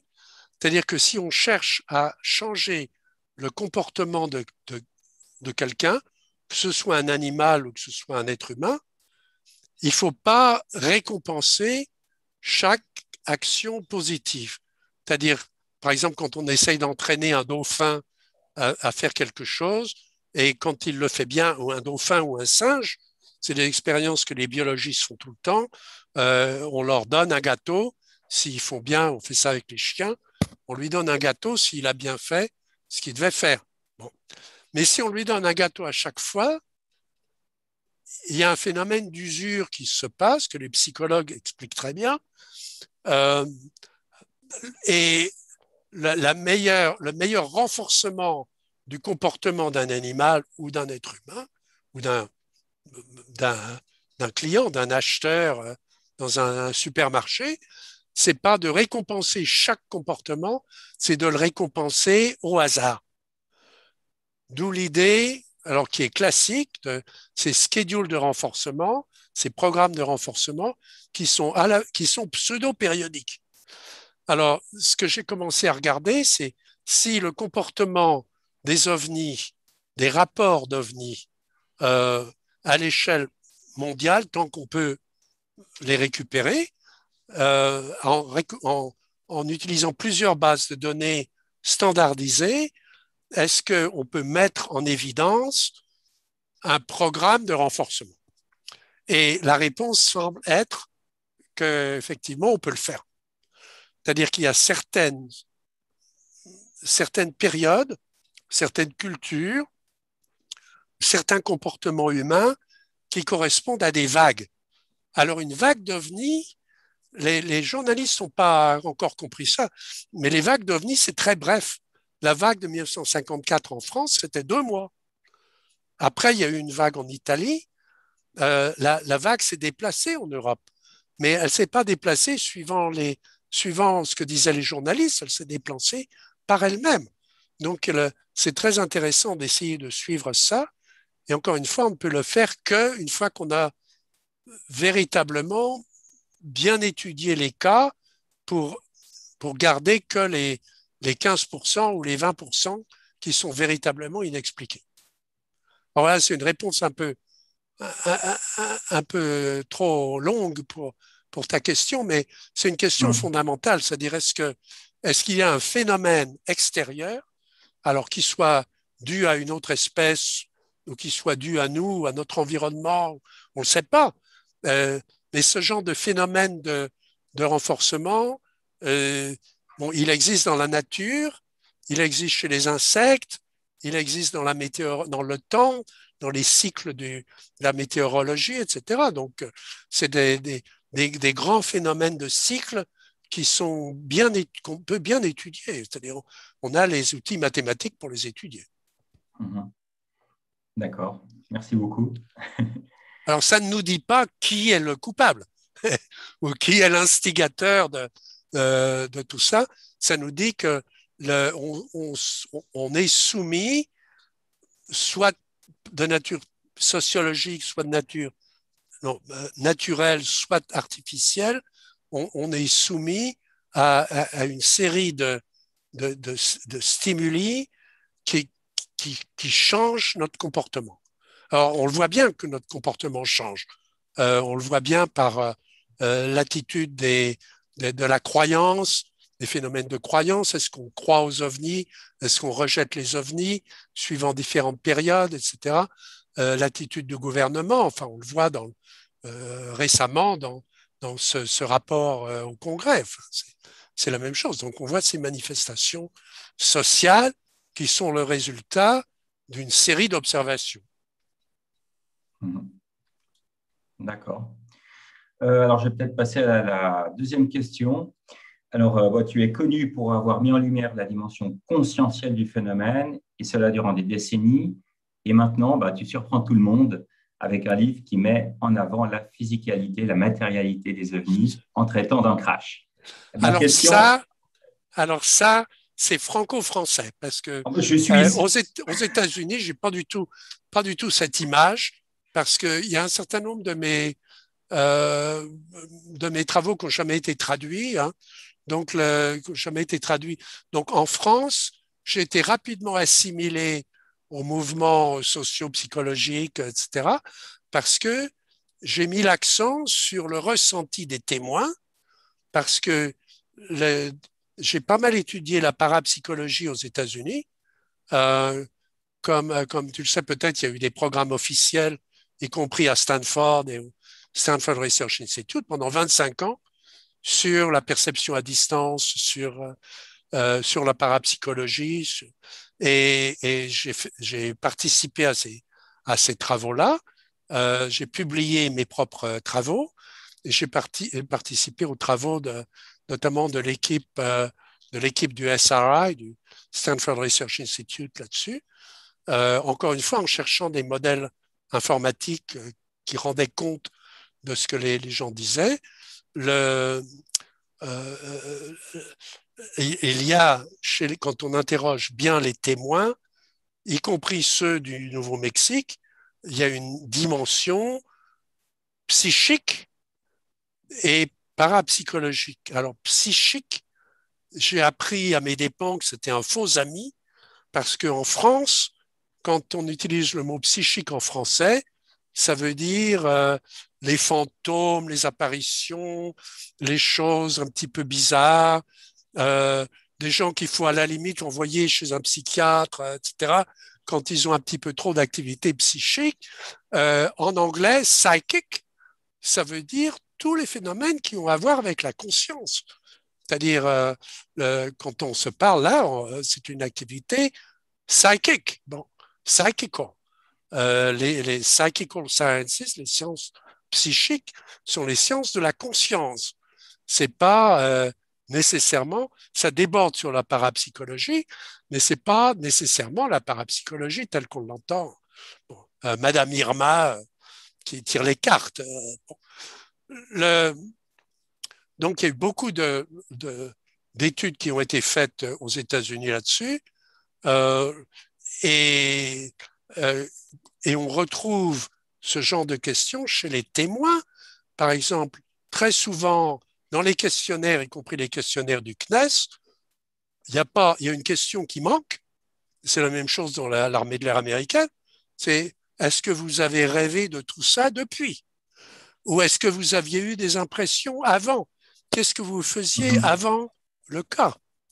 Euh, J'ai posé cette question à un témoin d'un cas en, Australie, euh, qui est un cas très connu, un, révérend, euh, un prêtre, euh, un ministère anglican qui avait vu quelque chose avec les, avec les indigènes, qui était... je lui ai posé la question, qu'est-ce que, qu'est-ce que vous avez fait avant? Et il a dit rien. Ah bah si, quand même, il y avait eu le matin, il y avait eu quelque chose de curieux. Il y a eu quelqu'un qui a frappé à ma porte. J'ai été ouvrir la porte, il n'y avait personne. Bon, bah, je m'excuse, mais moi, ça m'intéresse, ce genre de choses. Je savoir, est-ce qu'il y a eu quelque chose qui a, alors, euh, sans y voir nécessairement quelqu'un qui a manipulé le témoin, est-ce qu'il y a eu un incident qui l'a mis dans un certain état, qui l'a rendu sensible à, certaines observations plutôt que d'autres euh, C'est ce genre de questions qu'il faut se poser. Donc, euh, le, mmh.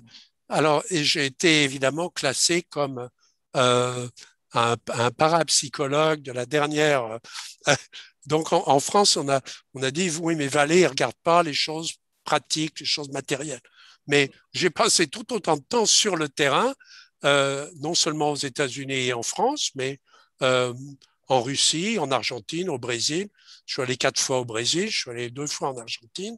Euh, j'ai été sur, sur le terrain au Mexique, etc. Donc, pour, pour étudier les traces, pour rassembler les informations des témoins, etc. Il y a d'ailleurs un film qui est sorti il y a deux ans sur un cas en Argentine. Euh, J'avais passé six mois à réapprendre suffisamment d'espagnol pour pouvoir parler directement en espagnol sans intermédiaire avec le témoin, parce que je voulais, encore une fois avoir, avoir, être en prise directe sur ces impressions sans avoir à le dire en anglais et avoir quelqu'un qui traduise. Euh, j'ai passé du temps sur le terrain.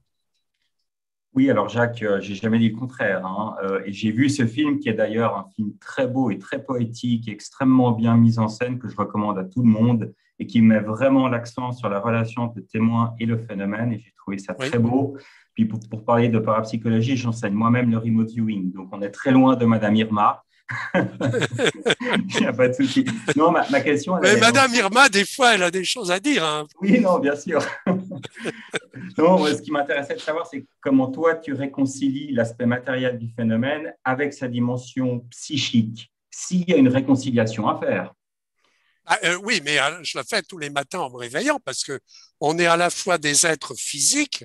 Enfin bon, euh, on peut, on, a un impact physique, on a un corps qui, agit physiquement sur l'environnement, mais euh, ce, corps, il est quand même conduit par, euh, par une intuition psychique. J'ai parlé un jour à un pilote de course américain, euh, justement sur ce, sujet-là. Il avait vu un objet et il avait été très, très frappé justement dans sa conscience sur, sur cet objet. Voilà un témoin exceptionnel parce que c'est quelqu'un qui conduit dans des courses, dans des courses automobiles et il m'a dit, mais dans une course automobile, on n'a pas le temps de penser, on n'a pas le temps d'envoyer l'influx nerveux le long du bras pour tourner le volant. Il faut anticiper. Donc, on les, très bons pilotes de, de, course sont des gens qui sont capables de, se projeter dans le futur à 5 secondes, 10 secondes, 15 secondes pour savoir ce que la voiture doit faire. Euh, pas, il ne peut pas réagir à ce que la voiture est en train de faire. Donc, mm.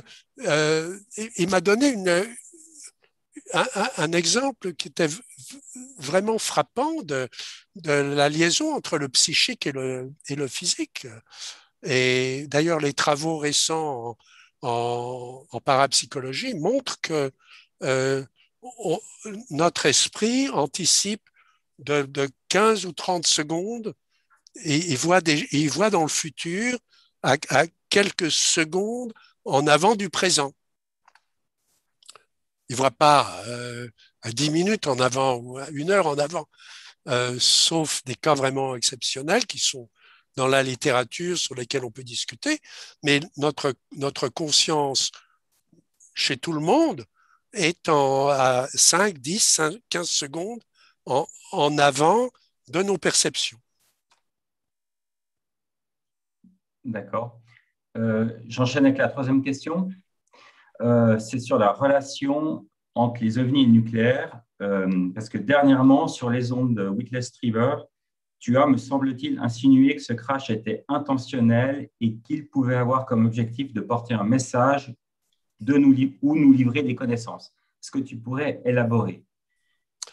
Alors, une chose que les, les, gens qui ont regardé ce ce dossier, parce que le, cas était, était, quand même un peu connu. Enfin, les gens savaient qu'il y avait eu quelque chose à San Antonio, mais comme il n'y avait pas de dossier officiel et que les témoins disaient rien, euh, les gens qui sont allés sur le, par exemple, bon, euh, mon ami James Fox, il est allé euh, à l'invitation de Paola et a filmé sur place. Il a filmé une interview avec José Padilla. Puis après, il en a, il en a jamais rien fait. Elle n'est pas dans son film. Euh, il, a, il a donné le film à Paola et il a décidé de ne pas l'utiliser parce qu'il n'y avait pas de corrélation réelle jusqu'à ce qu'on fasse ce travail sur le terrain. Donc, le, le, le, cas de ce point de vue-là est passé euh, euh, relativement inaperçu, mais maintenant qu'on a les détails, on ne peut pas dire que c'est totalement par hasard qu'un objet arrive de nulle part, vient s'écraser sur un terrain qui est un terrain aux confins d'un terrain militaire, où euh, quatre semaines avant, il y a eu la première explosion atomique de l'histoire de l'humanité. Enfin, l'histoire de l'humanité ouvre un nouveau chapitre euh, ce, jour-là.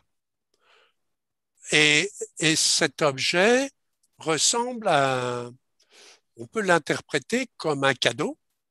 Mm-hmm. Voilà, on vous donne ça. Il y a ces trois créatures à l'intérieur, on ne sait pas très bien quel rôle elles ont. Euh, elles n'ont pas l'air d'être les pilotes de l'engin.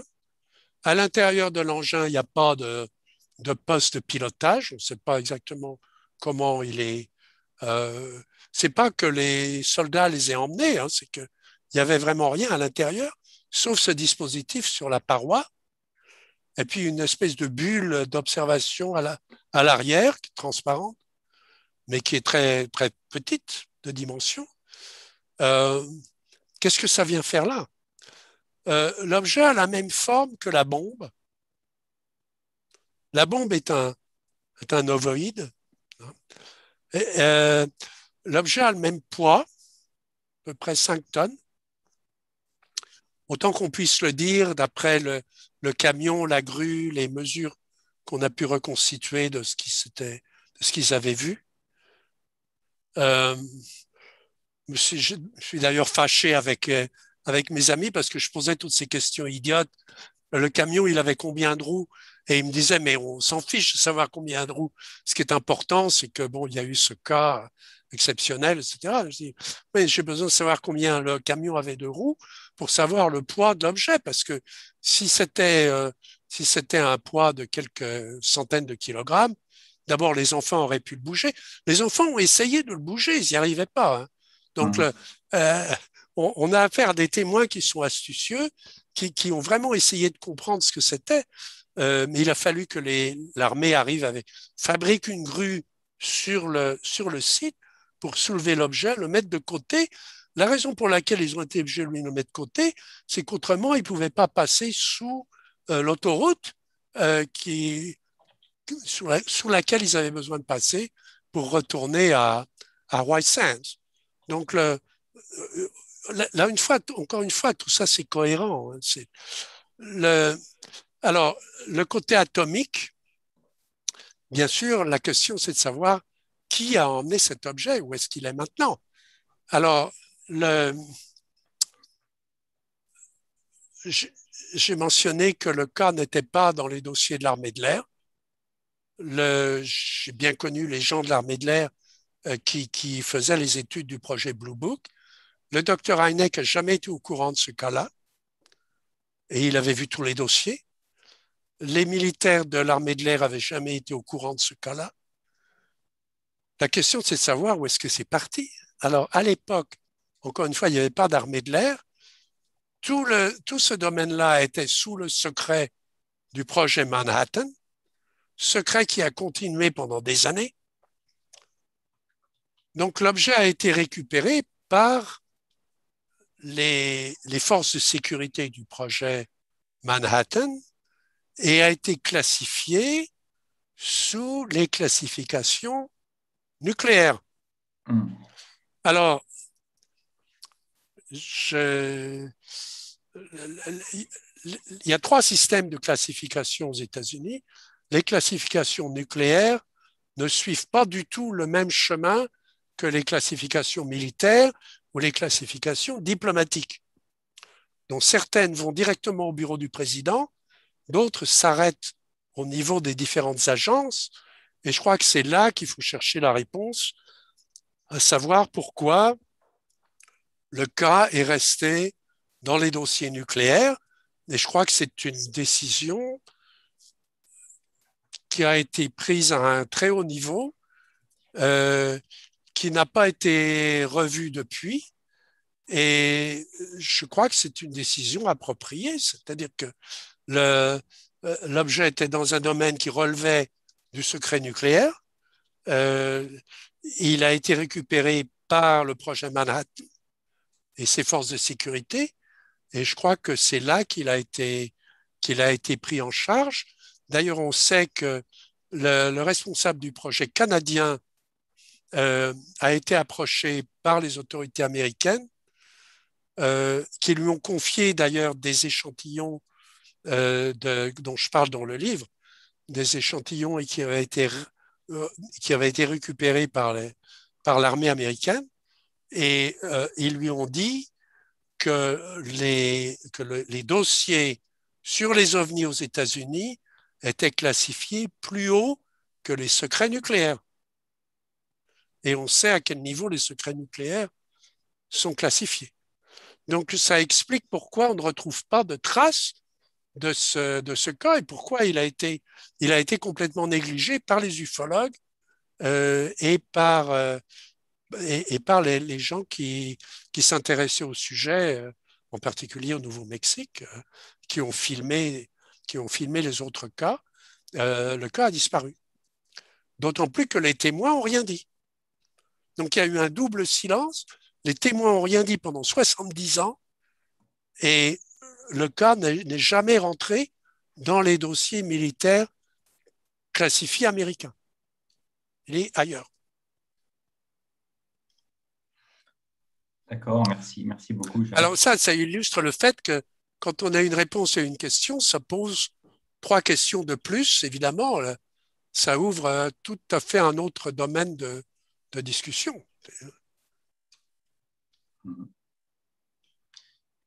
Je vais, je vais, poser une dernière question qui, je pense, devrait intéresser les, ceux qui nous suivent sur le ranch de l'Utah, euh, parce que ça revient assez, assez fréquemment. Donc, on sait que ce ranch était racheté par un riche promoteur et euh, il y a une, nouvelle émission qui s'appelle The Secret of the Skinwater Ranch sur History Channel qui reprend les recherches qui ont été faites par les NIDS.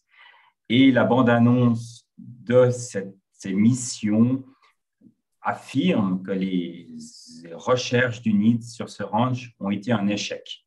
Comment est-ce que toi, tu vois les choses? Alors, euh, je crois que je peux en parler assez, librement. Hein. Euh, j'ai été plusieurs fois sur ce ranch. Euh, je faisais partie de l'équipe euh, donc du, comité de, de, conseil de M. Bigelow, de Robert Bigelow, dans toute l'histoire du, du NITS. J'ai fait partie des, décisions d'instrumentation du ranch, c'est-à-dire des caméras qui ont été installées sur, euh, sur le ranch, etc., et des, des systèmes de collection de, de, données sur, euh, sur ce terrain. Euh, donc là, je ne trahis aucun, aucun secret. Le, bon, la, la télévision, c'est la télévision. Hein. Il faut bien qu'ils disent, par exemple, on dit toujours que les, les dossiers de Blue Book étaient les dossiers secrets de Blue Book. Bon, euh, je m'excuse, mais moi, euh, le docteur Heineck m'avait donné accès au, dossier. Quand j'ai commencé à travailler avec lui, j'avais un passeport français et j'avais une petite carte verte euh, pour euh, de résident américain, mais je n'étais pas citoyen américain à l'époque. Donc, non seulement je n'avais pas accès au secret, je n'avais pas de passeport américain, je n'étais pas citoyen américain. Et j'ai quand même été invité à la base de, de, l'armée de l'air euh, qui voulait discuter des bases de données, puisque je travaillais sur les bases de données qui étaient leurs données. Donc, euh, c'est quand même la moindre des choses qu'on puisse se parler. Mais euh, j'ai eu accès ouvert au dossier de Blue Book. dans les années 64, 65, etc., quand j'ai recréé la base de données, parce qu'ils voulaient améliorer leurs statistiques. Et dans une certaine mesure, les gens ne se rendent pas compte, mais ça, c'était relativement ouvert. C'est-à-dire n'importe quel scientifique américain aurait pu être habilité, euh, s'il avait une, une, étude sérieuse à faire, aurait eu accès euh, à la base, aurait eu accès au dossier. Donc, euh, c'est c'est un, un contresens à la télévision de voir qu'il y a toujours le dossier secret, parce que, évidemment, si c'est pas secret, ça va pas intéresser les gens. Donc, le, les, donc ces, ces, études se sont, se sont poursuivies et euh, mais les, les, dossiers donc les dossiers nucléaires euh, étaient étaient à part et eux sont restés euh, sont restés classifiés. Merci Fabrice. Jacques, j'ai juste une question. Euh, quelle est votre théorie à propos des phénomènes qui se sont déroulés autour du ranch Skinwalker? Vous avez une théorie à ce sujet? les, les, les, études, bon, toutes les études qui ont été faites sur le ranch n'ont pas été publiées, mais quand même, euh, le, le, livre de, de, Keller, qui est un, un biologiste avec lequel j'ai travaillé là-bas, euh, sont, très ouvertes. Enfin, elles, elles, racontent ce qui a été vu. Ce qui a été vu, c'est une série de phénomènes. D'abord, pendant sept ans, euh, attention, euh, on a acheté le ranch parce que il se passait des phénomènes sur le ranch. Donc, c'était connu dans la région qu'il y avait des phénomènes. Pendant sept ans, on n'a rien vu. C'est-à-dire, on a vu des choses qui arrivaient, qui se passaient au niveau du bétail, au niveau de l'environnement qui n'ont pas été expliqués, qu'on a pu documenter parce qu'on avait installé ces caméras, etc. Mais on n'a pas vu d'ovnis se poser sur le range, ce qui était évidemment ce qu'on espérait. On avait toutes ces caméras, on espérait avoir une manifestation physique qu'on pouvait étudier. Euh, il y avait un certain nombre de physiciens, des gens de Los Alamos, etc., qui faisaient partie de notre comité scientifique. Il y avait deux astronautes euh, qui avait marché sur la Lune, qui faisait partie de ce comité scientifique. Donc on, attendait bien quelque chose de concret, quelque chose de physique. C'est vrai qu'on n'a pas euh, réussi à l'obtenir. Euh, par contre, on a, documenté d'autres phénomènes euh, dont on n'a pas compris. Et c'est pas juste de dire que euh, qu'il s'est rien passé. Cela étant, comme toujours, on a euh, euh, tout ce qu'on a fait, c'est d'approfondir le mystère et euh, on est arrivé au point où, on ne pensait pas que d'investir davantage de temps, de, temps des, scientifiques qui étaient sur place ou de temps de simplement du temps de l'équipe pouvait nous apprendre quelque chose de plus. C'est-à-dire, on était vraiment tombé sur euh, des choses qu'on ne comprenait pas, notamment au niveau du bétail. On a eu des, mutilations de bétail et des phénomènes au niveau des animaux. On avait mis des animaux choisis euh, sur, sur ce terrain euh, spécialement pour, pour obtenir des données biologiques à partir des animaux qui étaient à partir du bétail. Le bétail était pas là simplement pour, pour utiliser le, terrain, il était là à, titre de, de, matériel expérimental. Donc, le, euh, il y a eu des phénomènes qui se sont passés à, que, que Keller décrit dans son livre, y compris des mutilations euh, qu'on n'a jamais comprises. Donc, c'est pas juste de dire que qu'il s'est rien passé. Cela étant, c'est vrai que l'objectif principal euh, n'a pas été atteint.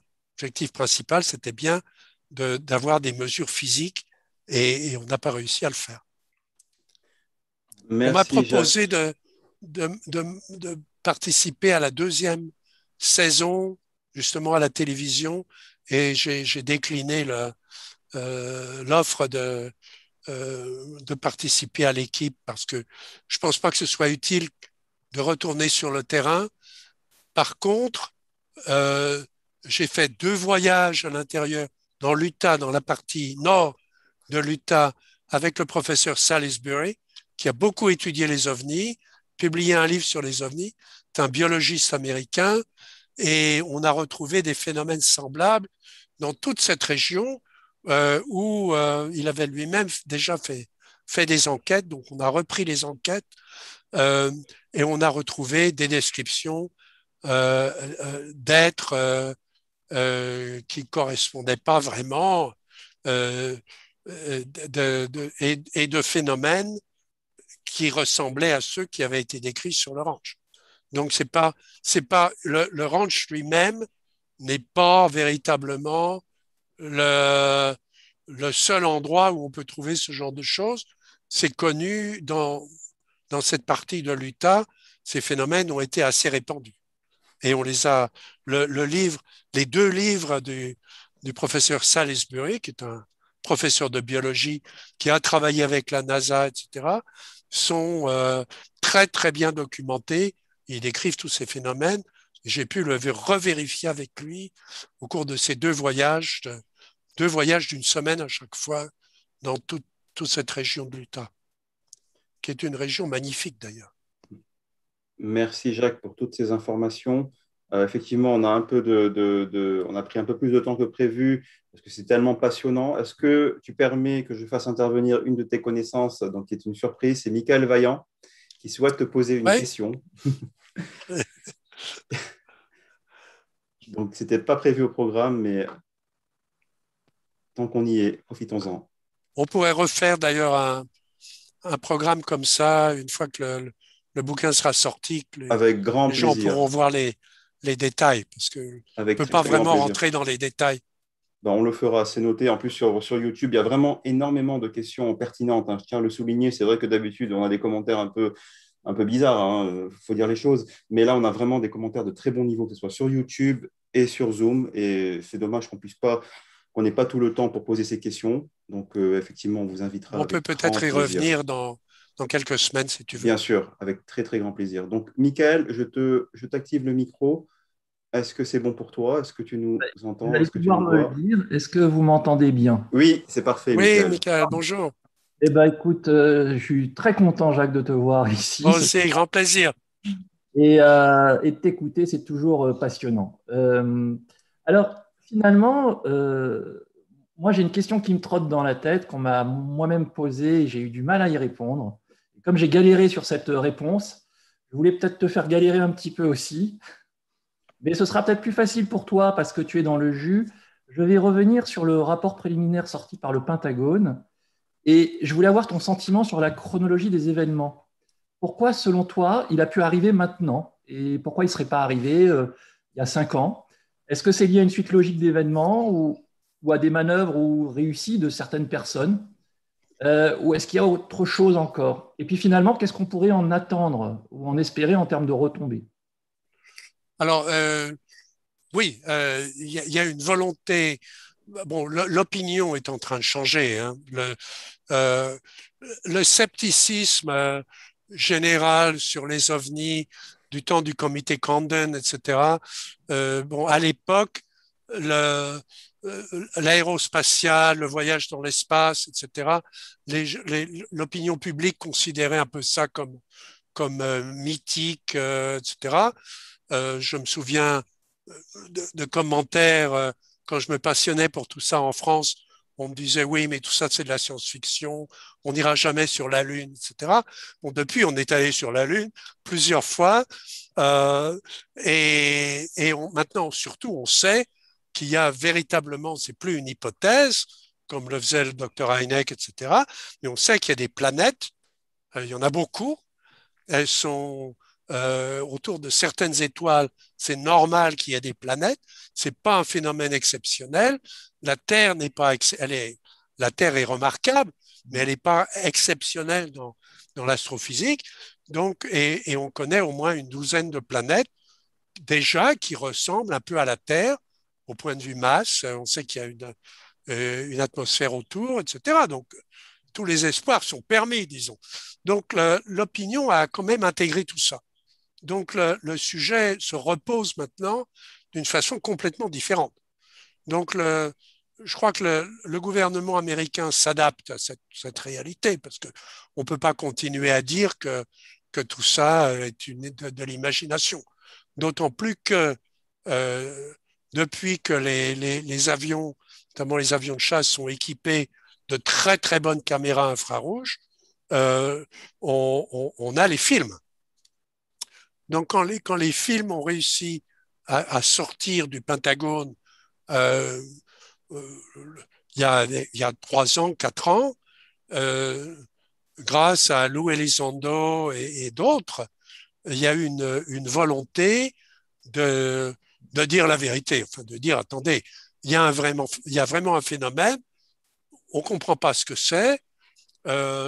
Du point de vue de la défense, si c'est les Russes ou les Chinois, bah, c'est très sérieux parce que on ne comprend pas Hein, comment ils peuvent se déplacer à cette vitesse-là, etc. Ils tournent autour de porte-avions en manœuvre. Euh, le, le, le, pas là pour s'amuser. Il était en manœuvre, en préparation à aller au Moyen-Orient, euh, en support des forces américaines. Donc, c'était euh, un, exercice réel. Donc, ça a été pris très au sérieux. Et, là, on avait les preuves. C'est-à-dire, on avait les preuves, on avait les preuves que les scientifiques ont toujours attendues.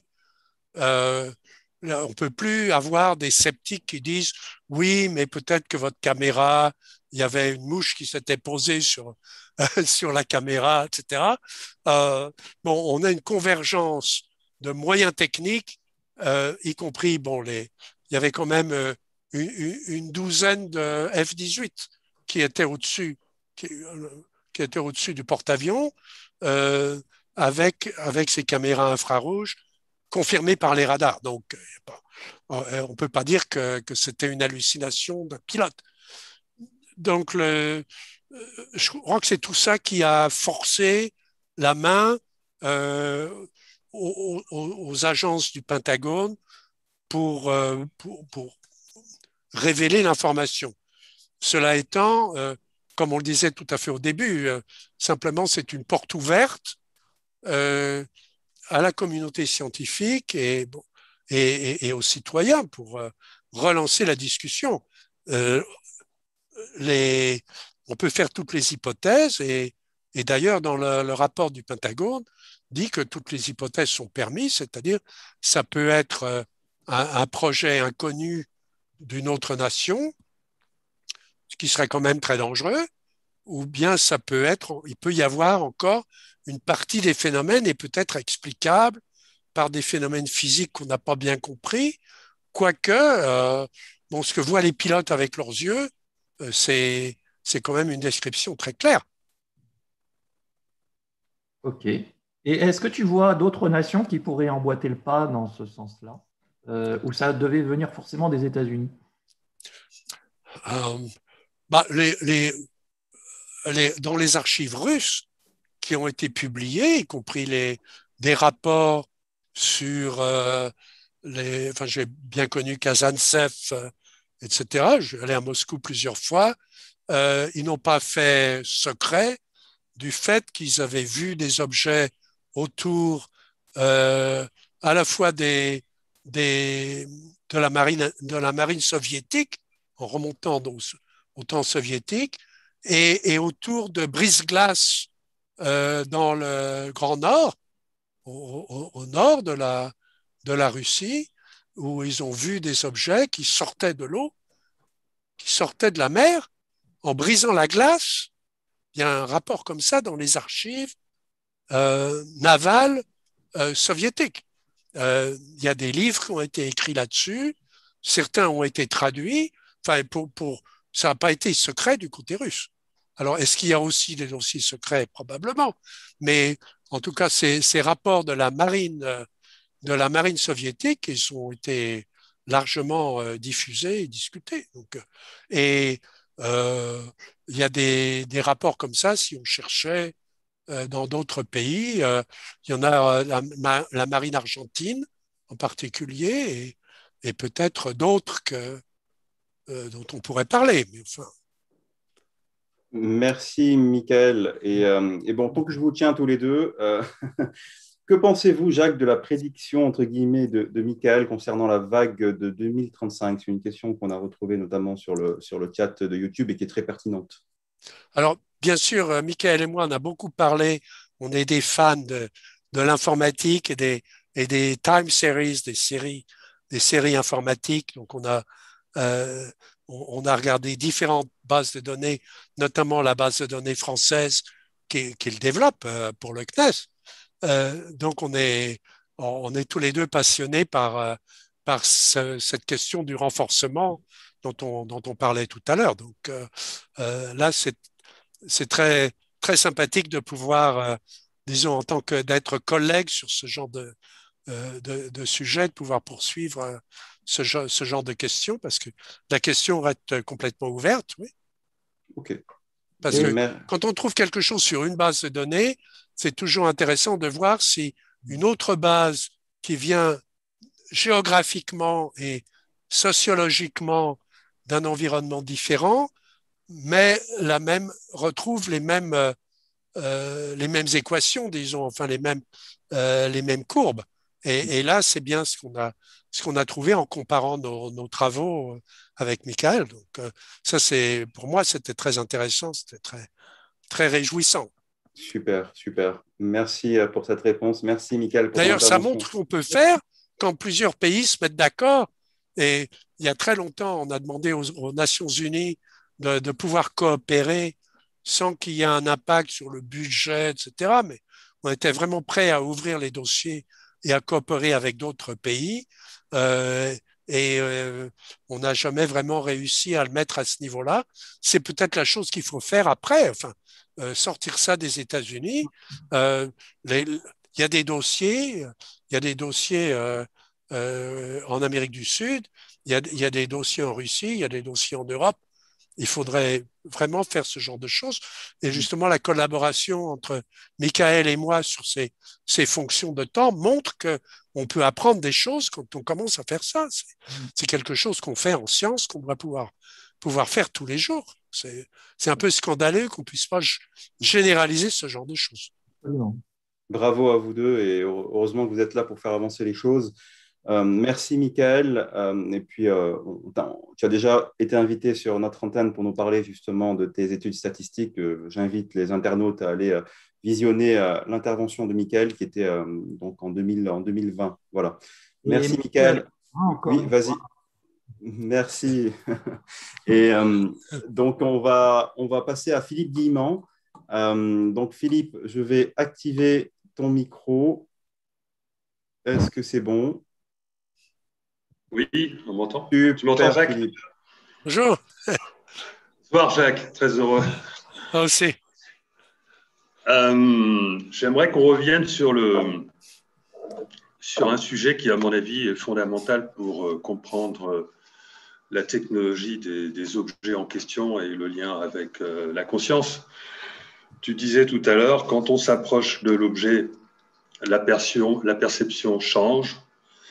Et tu as, tu as cité euh, dans les témoignages de ton livre des, éléments qui m'ont marqué, qui m'ont vraiment beaucoup parlé, des éléments qui normalement devraient diminuer la crédibilité du témoignage, mais qui pour un physicien comme moi qui s'intéresse, euh, on va dire, à la physique, euh, on pourrait l'appeler la physique du temps dilaté, est extrêmement parlant et au contraire donne beaucoup de crédibilité. Donc, tu, disais dans ton livre, et en plus à plusieurs reprises, tu faisais parler les témoins qui disaient, qui disaient qu'ils voyaient les entités glisser ou comme se mouvoir par la pensée, si j'ai bien compris, en tout cas sans marcher ni courir euh, tu disais des choses aussi.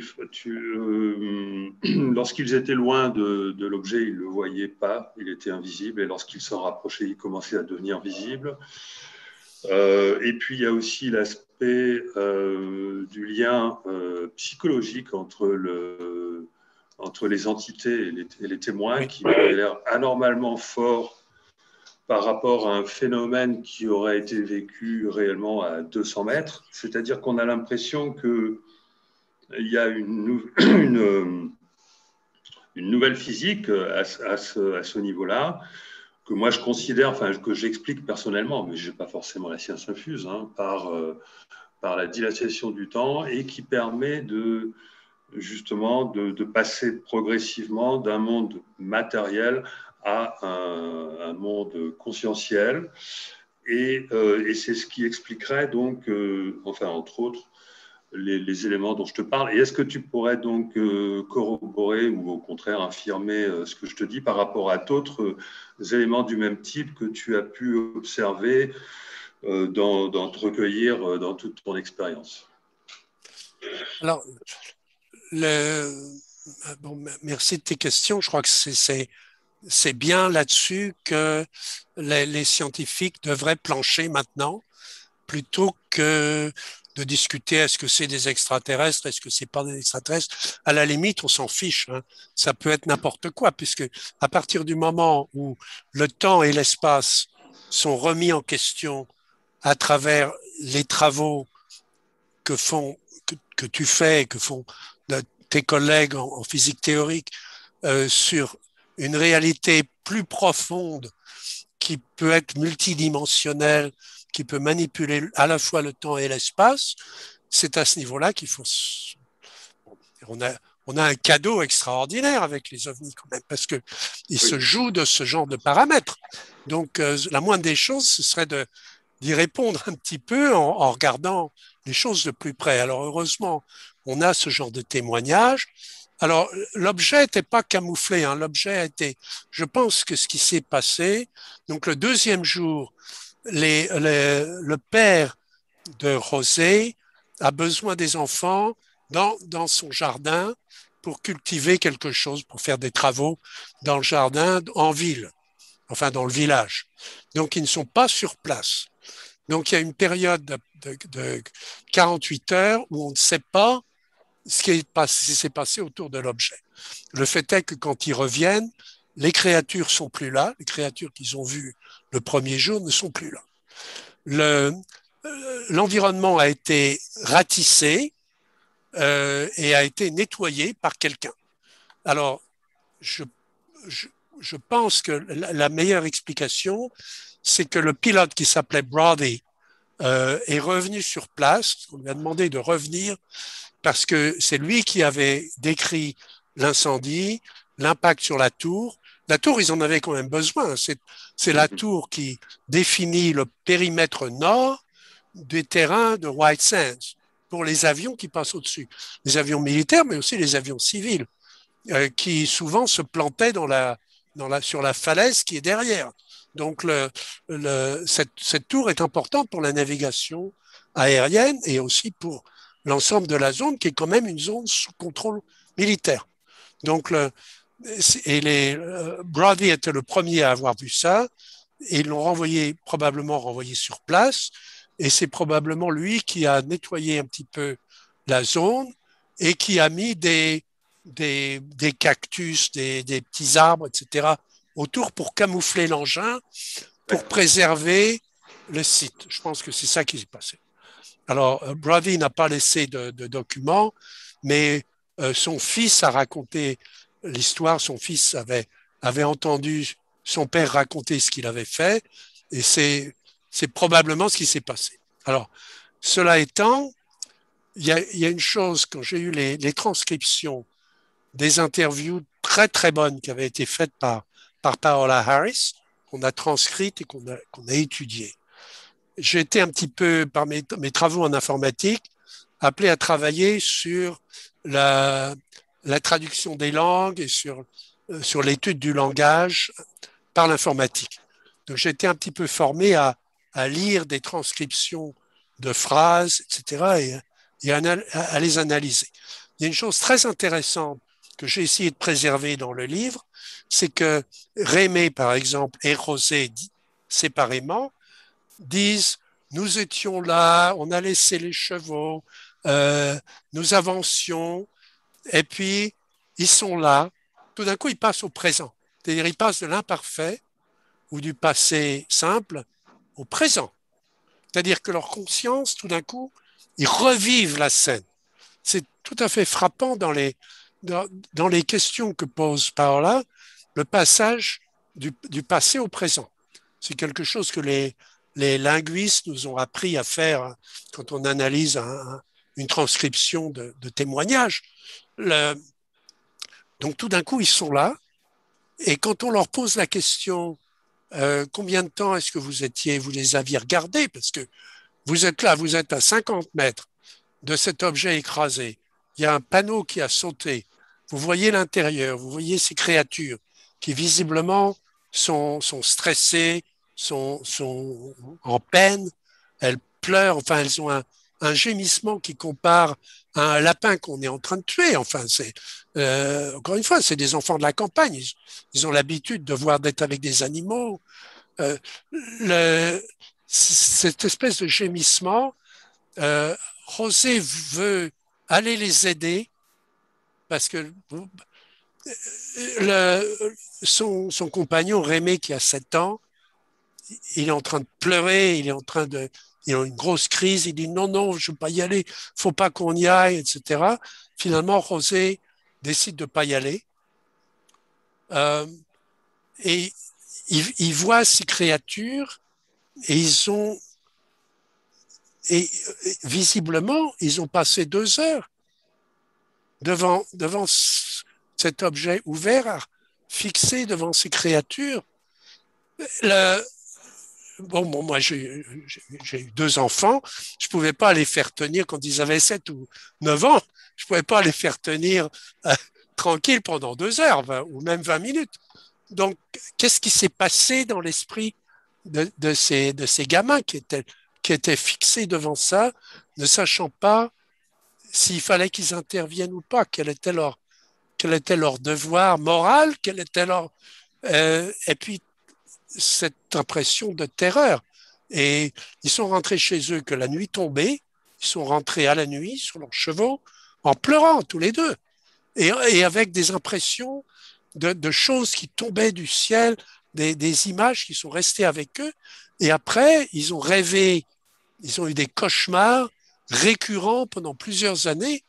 Euh, quand ils avaient 10 ans, 11 ans, 12 ans, ils continuaient à avoir ces cauchemars de, de, gens qui tombaient du ciel, qui tombaient d'un bâtiment, qui tombaient d'un gratte-ciel, mm. euh, qui, qui était toujours le même rêve récurrent. Donc il y a eu un, impact psychique fondamental sur ces, sur ces deux gamins, ce qui, euh, ce, qui ce, qui ce qui est normal, mais euh, on ne peut pas le négliger, cet aspect-là. Et le, il semble que le temps, ils disent aussi, quand ils sont approchés de l'objet, ils, disent eux-mêmes, sans être sollicités par une question euh, dirigée, etc., d'eux-mêmes, ils disent, euh, on n'a pas compris comment le temps passait. Quand ils se rapprochent, tout d'un coup, ils sont devant l'objet. Alors qu'ils étaient à un kilomètre ou deux kilomètres avant, il, a fallu qu'ils laissent leurs chevaux euh, à l'extérieur et qu'ils marchent vers, vers cet objet pour voir ce qui se passait et ils n'ont pas compris ce qui arrivait à la durée, ce qui arrivait dans le temps. D'accord. Est-ce qu'on euh, peut assimiler ça à une dilatation du temps concomitante avec un raccourcissement de l'espace? Alors, on n'a pas vraiment les éléments pour ça, mais on peut le mettre en rapport avec d'autres cas que, que, tu, que tu connais, dont on a parlé, où les, les, témoins, on sait même, euh, bah, bah, on parlait de cas d'enlèvement avant, il y a des cas d'enlèvement, euh, c'est tout à fait classique. Enfin, la, personne pense qu'elle a, qu'elle a été absente pendant une heure et on s'aperçoit qu'il s'est passé six heures et que, qu'elle avait disparu complètement, que les gens la cherchaient. Il y a ce, ce soldat au Chili, par exemple, que c'est le reste du bataillon cherchait où, où il était passé et et il est revenu euh, plusieurs jours après. Donc, il y a cet aspect de temps qu'on retrouve euh, dans toute une série d'observations qui sont relativement bien documentées, documentées dans des, dans des trucs officiels.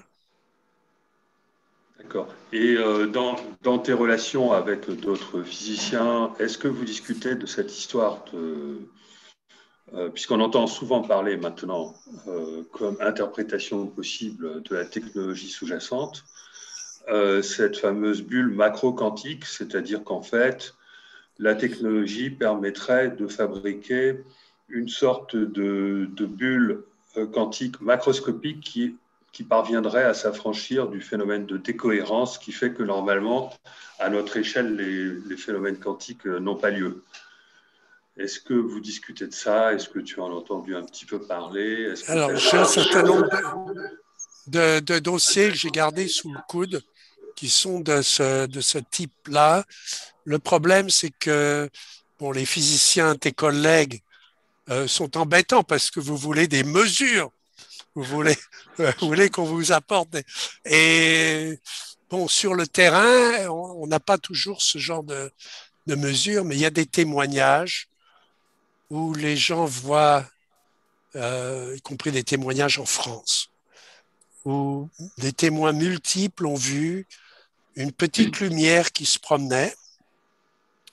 Ils ont en même temps un impact psychique qui, décrivent comme quelque chose de très désagréable, par exemple une, dépersonnalisation, enfin, une, espèce de perte de, de contrôle de la conscience, en regardant cette petite lumière qui n'est pas du tout menaçante. En fait, c'est une petite lumière qui se promène. Euh, et puis, plus tard, il revoit cette lumière sous forme d'une lumière qui devient une boule de lumière. Alors, c'est là qu'on peut parler d'un plasma, enfin, comme un éclair globulaire. Et tout d'un coup, ils sont devant un appareil matériel qui laisse des traces dans le sol, tout à fait matériel. Et c'est là qu'on me fait un procès en disant oui, mais vous parlez de tous ces trucs psychiques et vous laissez de côté le fait que c'est physique, il y a des traces, il y a des trous dans, dans mon jardin, etc. D'accord, mais bon, c'est les deux à la fois. C'est les deux à la fois. Et s'il y a, bon, les, tes collègues décrivent ce que serait l'émergence d'un trou noir si on est devant le, le, le, le, le goulot euh, ou le goulet d'un trou noir, on peut voir des choses euh, apparaître qui sont des objets qui se matérialisent. Mais quand ils étaient dans le trou noir, est-ce est qu'ils avaient, est-ce qu'ils étaient vraiment des objets, ou est-ce que c'est, est-ce qu'il y a un moyen de transférer simplement l'information, et puis que l'information se, encore une fois, on retombe sur le fait qu'en physique moderne, il y a, il y a la physique de l'énergie, la physique de l'information.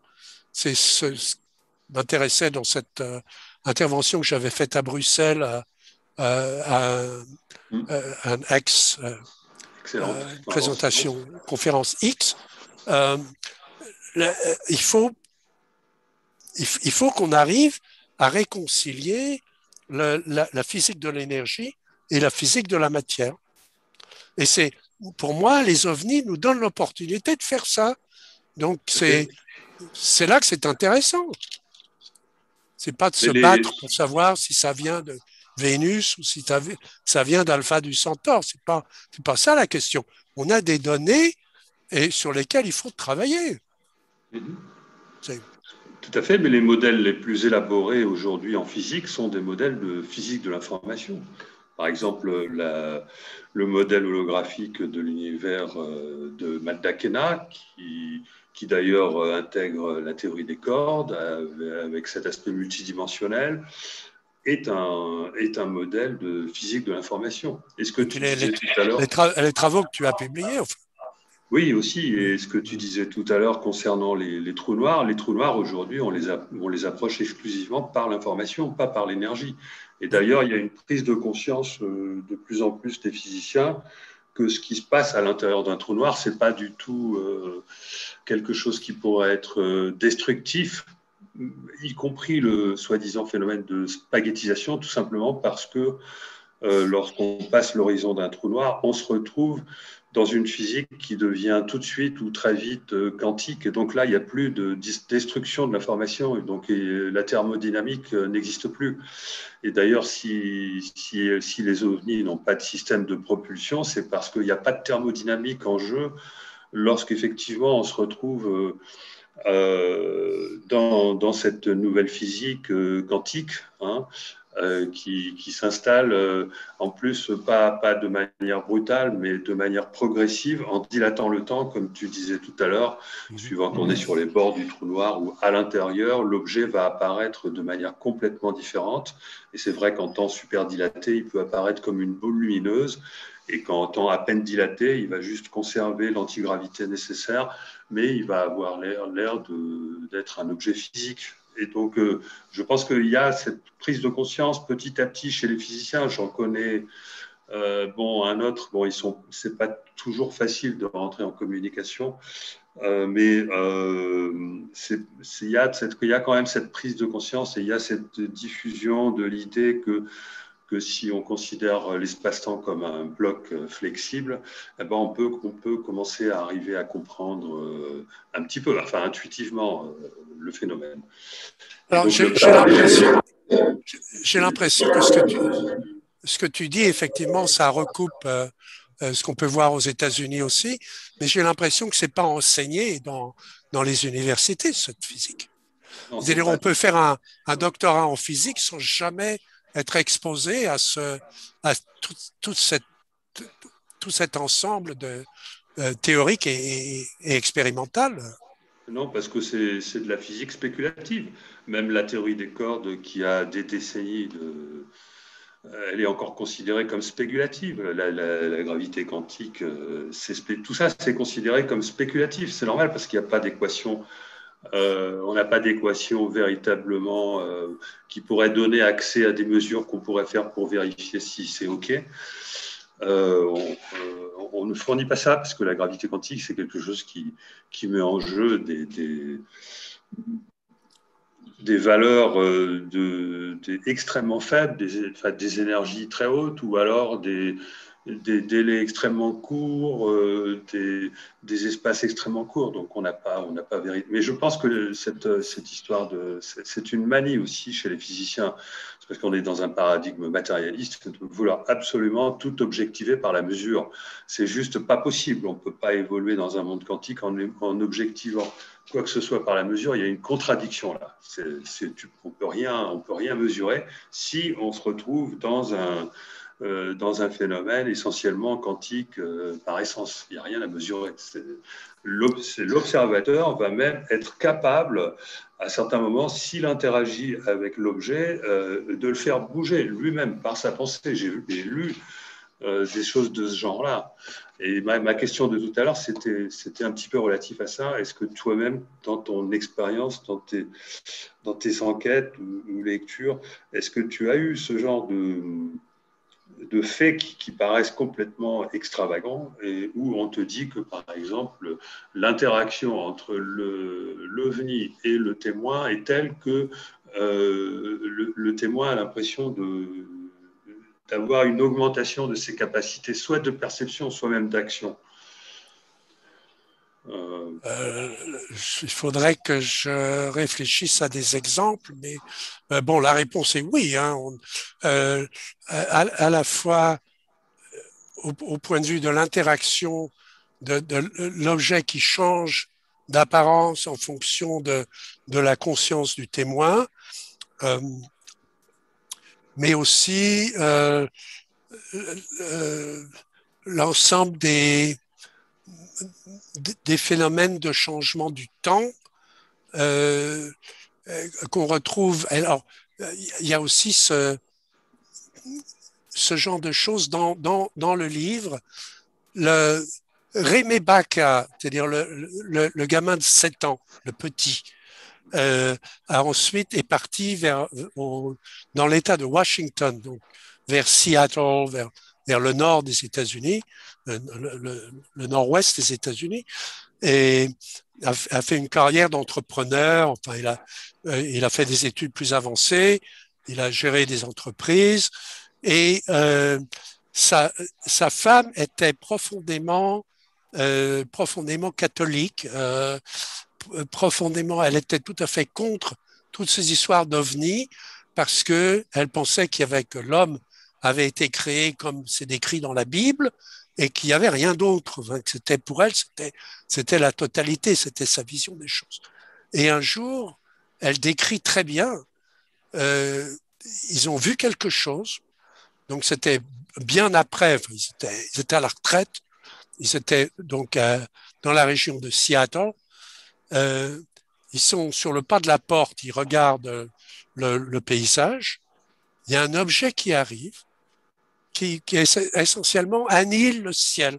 C'est-à-dire l'objet vient au-dessus d'eux, ils le voient arriver, ils perdent la notion du temps, ils ont cette... Euh, il n'y a, absolument aucun doute que cet objet est réel, ils, perdent la notion de, de, de la réalité.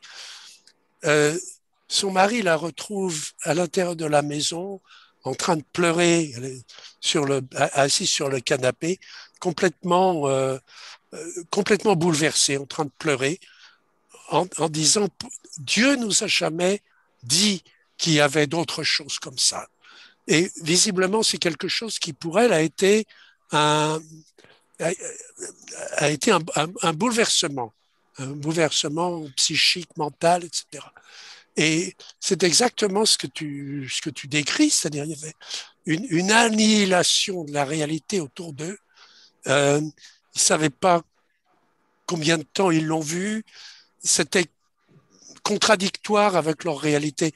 Et on trouve ça dans, que si on regarde bien, on retrouve ça dans un certain nombre de, de dossiers. Je, je, crois que la réponse pour quelqu'un comme moi, euh, on est un peu les serviteurs de, de la, de la spéculation théorique, c'est-à-dire, mais on peut apporter des, des faits qui sont documentés. C'est-à-dire, si on sait les documenter, il faut pas se polariser tout de suite sur, sur les, il faut pas se laisser enfermer dans, dans ce faux problème. Est-ce que ça vient de l'espace ou pas? Est-ce que c'est des extraterrestres ou pas des extraterrestres? Ça veut rien dire. Ça veut plus rien dire à ce niveau-là. C'est le, le, problème se pose dans des et c'est un c'est un cadeau extraordinaire parce que on peut avoir des données qu'on peut apporter à, des gens comme toi et à tes collègues en leur disant voilà, voilà ce qu'on constate. On comprend pas comment c'est arrivé. Les témoins nous décrivent des choses qui semblent absurdes si on regarde simplement la, physique classique qu'on a apprise à l'école, mais qui peuvent donner l'exemple de choses plus profondes qui peuvent fournir un, matériau euh, à, une réflexion théorique plus, plus, plus avancée. D'ailleurs, ces phénomènes-là, alors, les, les, les, atomistes, ils les connaissent, ces phénomènes-là, parce qu'au niveau de l'infiniment petit, c'est comme ça que ça se passe. Donc, le, les, les, les, particules qui sont à deux endroits en même temps, ils sont 10% ici, 15% là-bas, etc. Bon, qu'est-ce que ça veut dire? Les neutrinos qui, qui sont là, mais ils sont pas là, mais ils sont peut-être là ils vont peut-être revenir. Enfin, tout, cet arsenal de, particules euh, euh, avec des probabilités, etc. Au niveau de l'infiniment petit, on peut en parler. Mais au, au niveau, quand un, ovni arrive et il fait une distorsion de l'espace-temps au-dessus du témoin, alors là, c'est le témoin qui a un problème psychiatrique, etc. C'est pas vrai. Et euh, une dernière question, est-ce que tu as envisagé ou creusé le lien entre ce phénomène, le lien éventuel, euh, et les, expériences de mort imminente ou de sortie de corps ou, les perceptions extrasensorielles euh,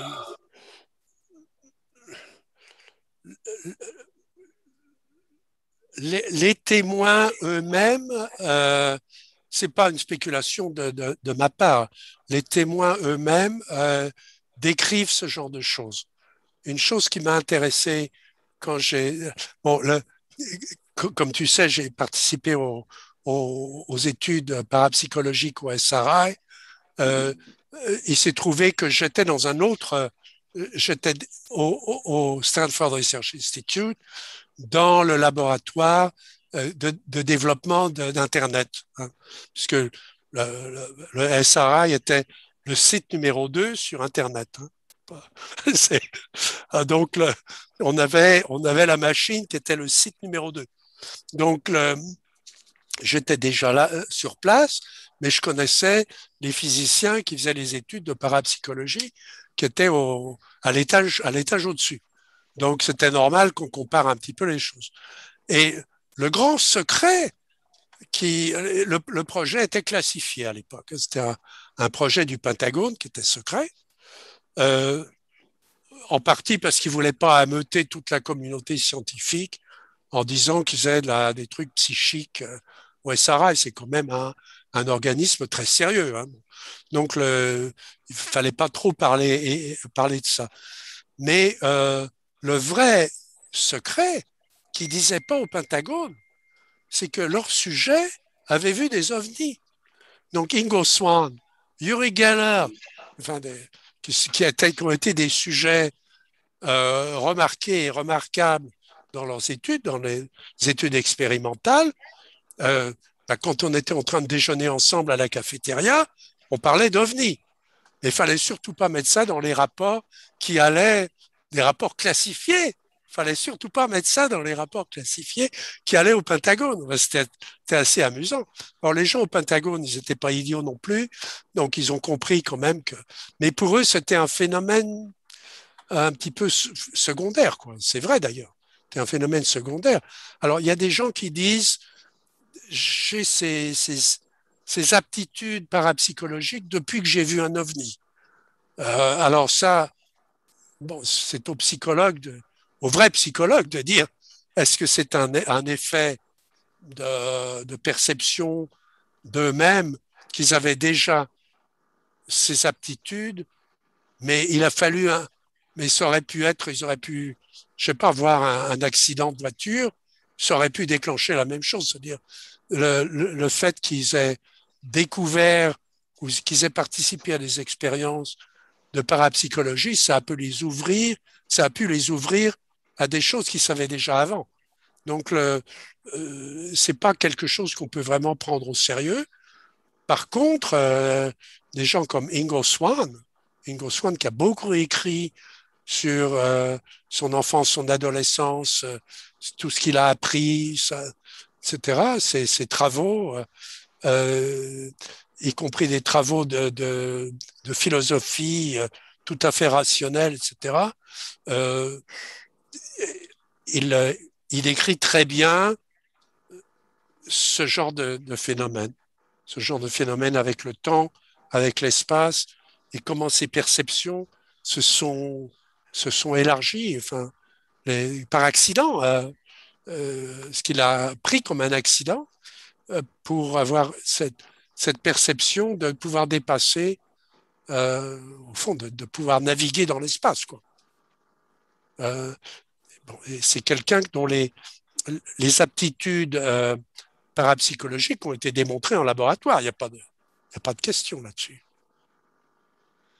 Merci pour tes réponses, euh, Jacques. C'était ouais. super. Euh, bon, ben c'est bon pour moi. C'est des réponses qui posent des questions. Hein. Oui, enfin, je bah m'excuse, oui. mais chaque, chaque fois qu'on a une réponse, et comprend que les gens soient frustrés avec ça parce que le public voudrait bien des réponses bien carrées, bien, oui. bien simples.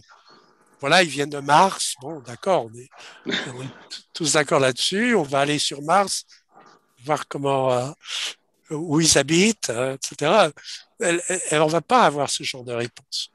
Par contre, pour la science, euh, telle que tu la pratiques et que, que j'essaie de la pratiquer, c'est un cadeau extraordinaire. Et on l'a jamais vu de ce point de vue-là.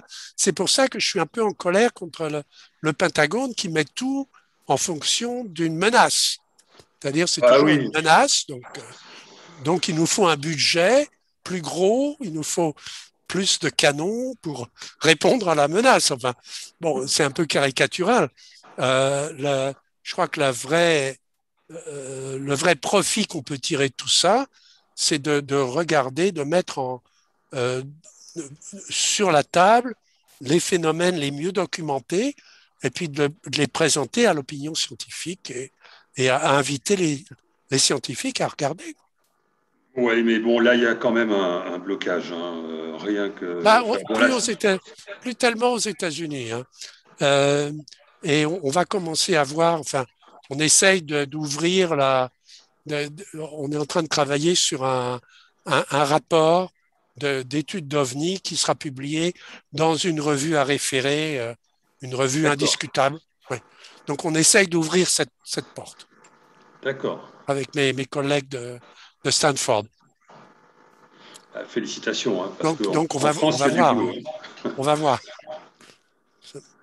Merci. Euh, merci, infiniment, Philippe. Merci infiniment euh, de clôturer euh, cette soirée en, beauté. Et un grand, grand merci, Jacques, pour nous avoir offert ce, beau moment vraiment d'échange et de partage.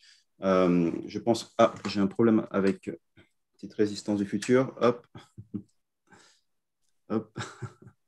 On t'entend bien? Oui, j'ai mes AirPods qui sont vides. Désolé. Vous m'entendez bien? Oui, oui. Je t'entends bien. Hop. C'est bon là. On est bon là, normalement. Oui. Ok, Jacques, désolé, j'ai mes AirPods qui ont plus de batterie. Hein. Je, ne t'ai pas perdu du tout là. Ok, super.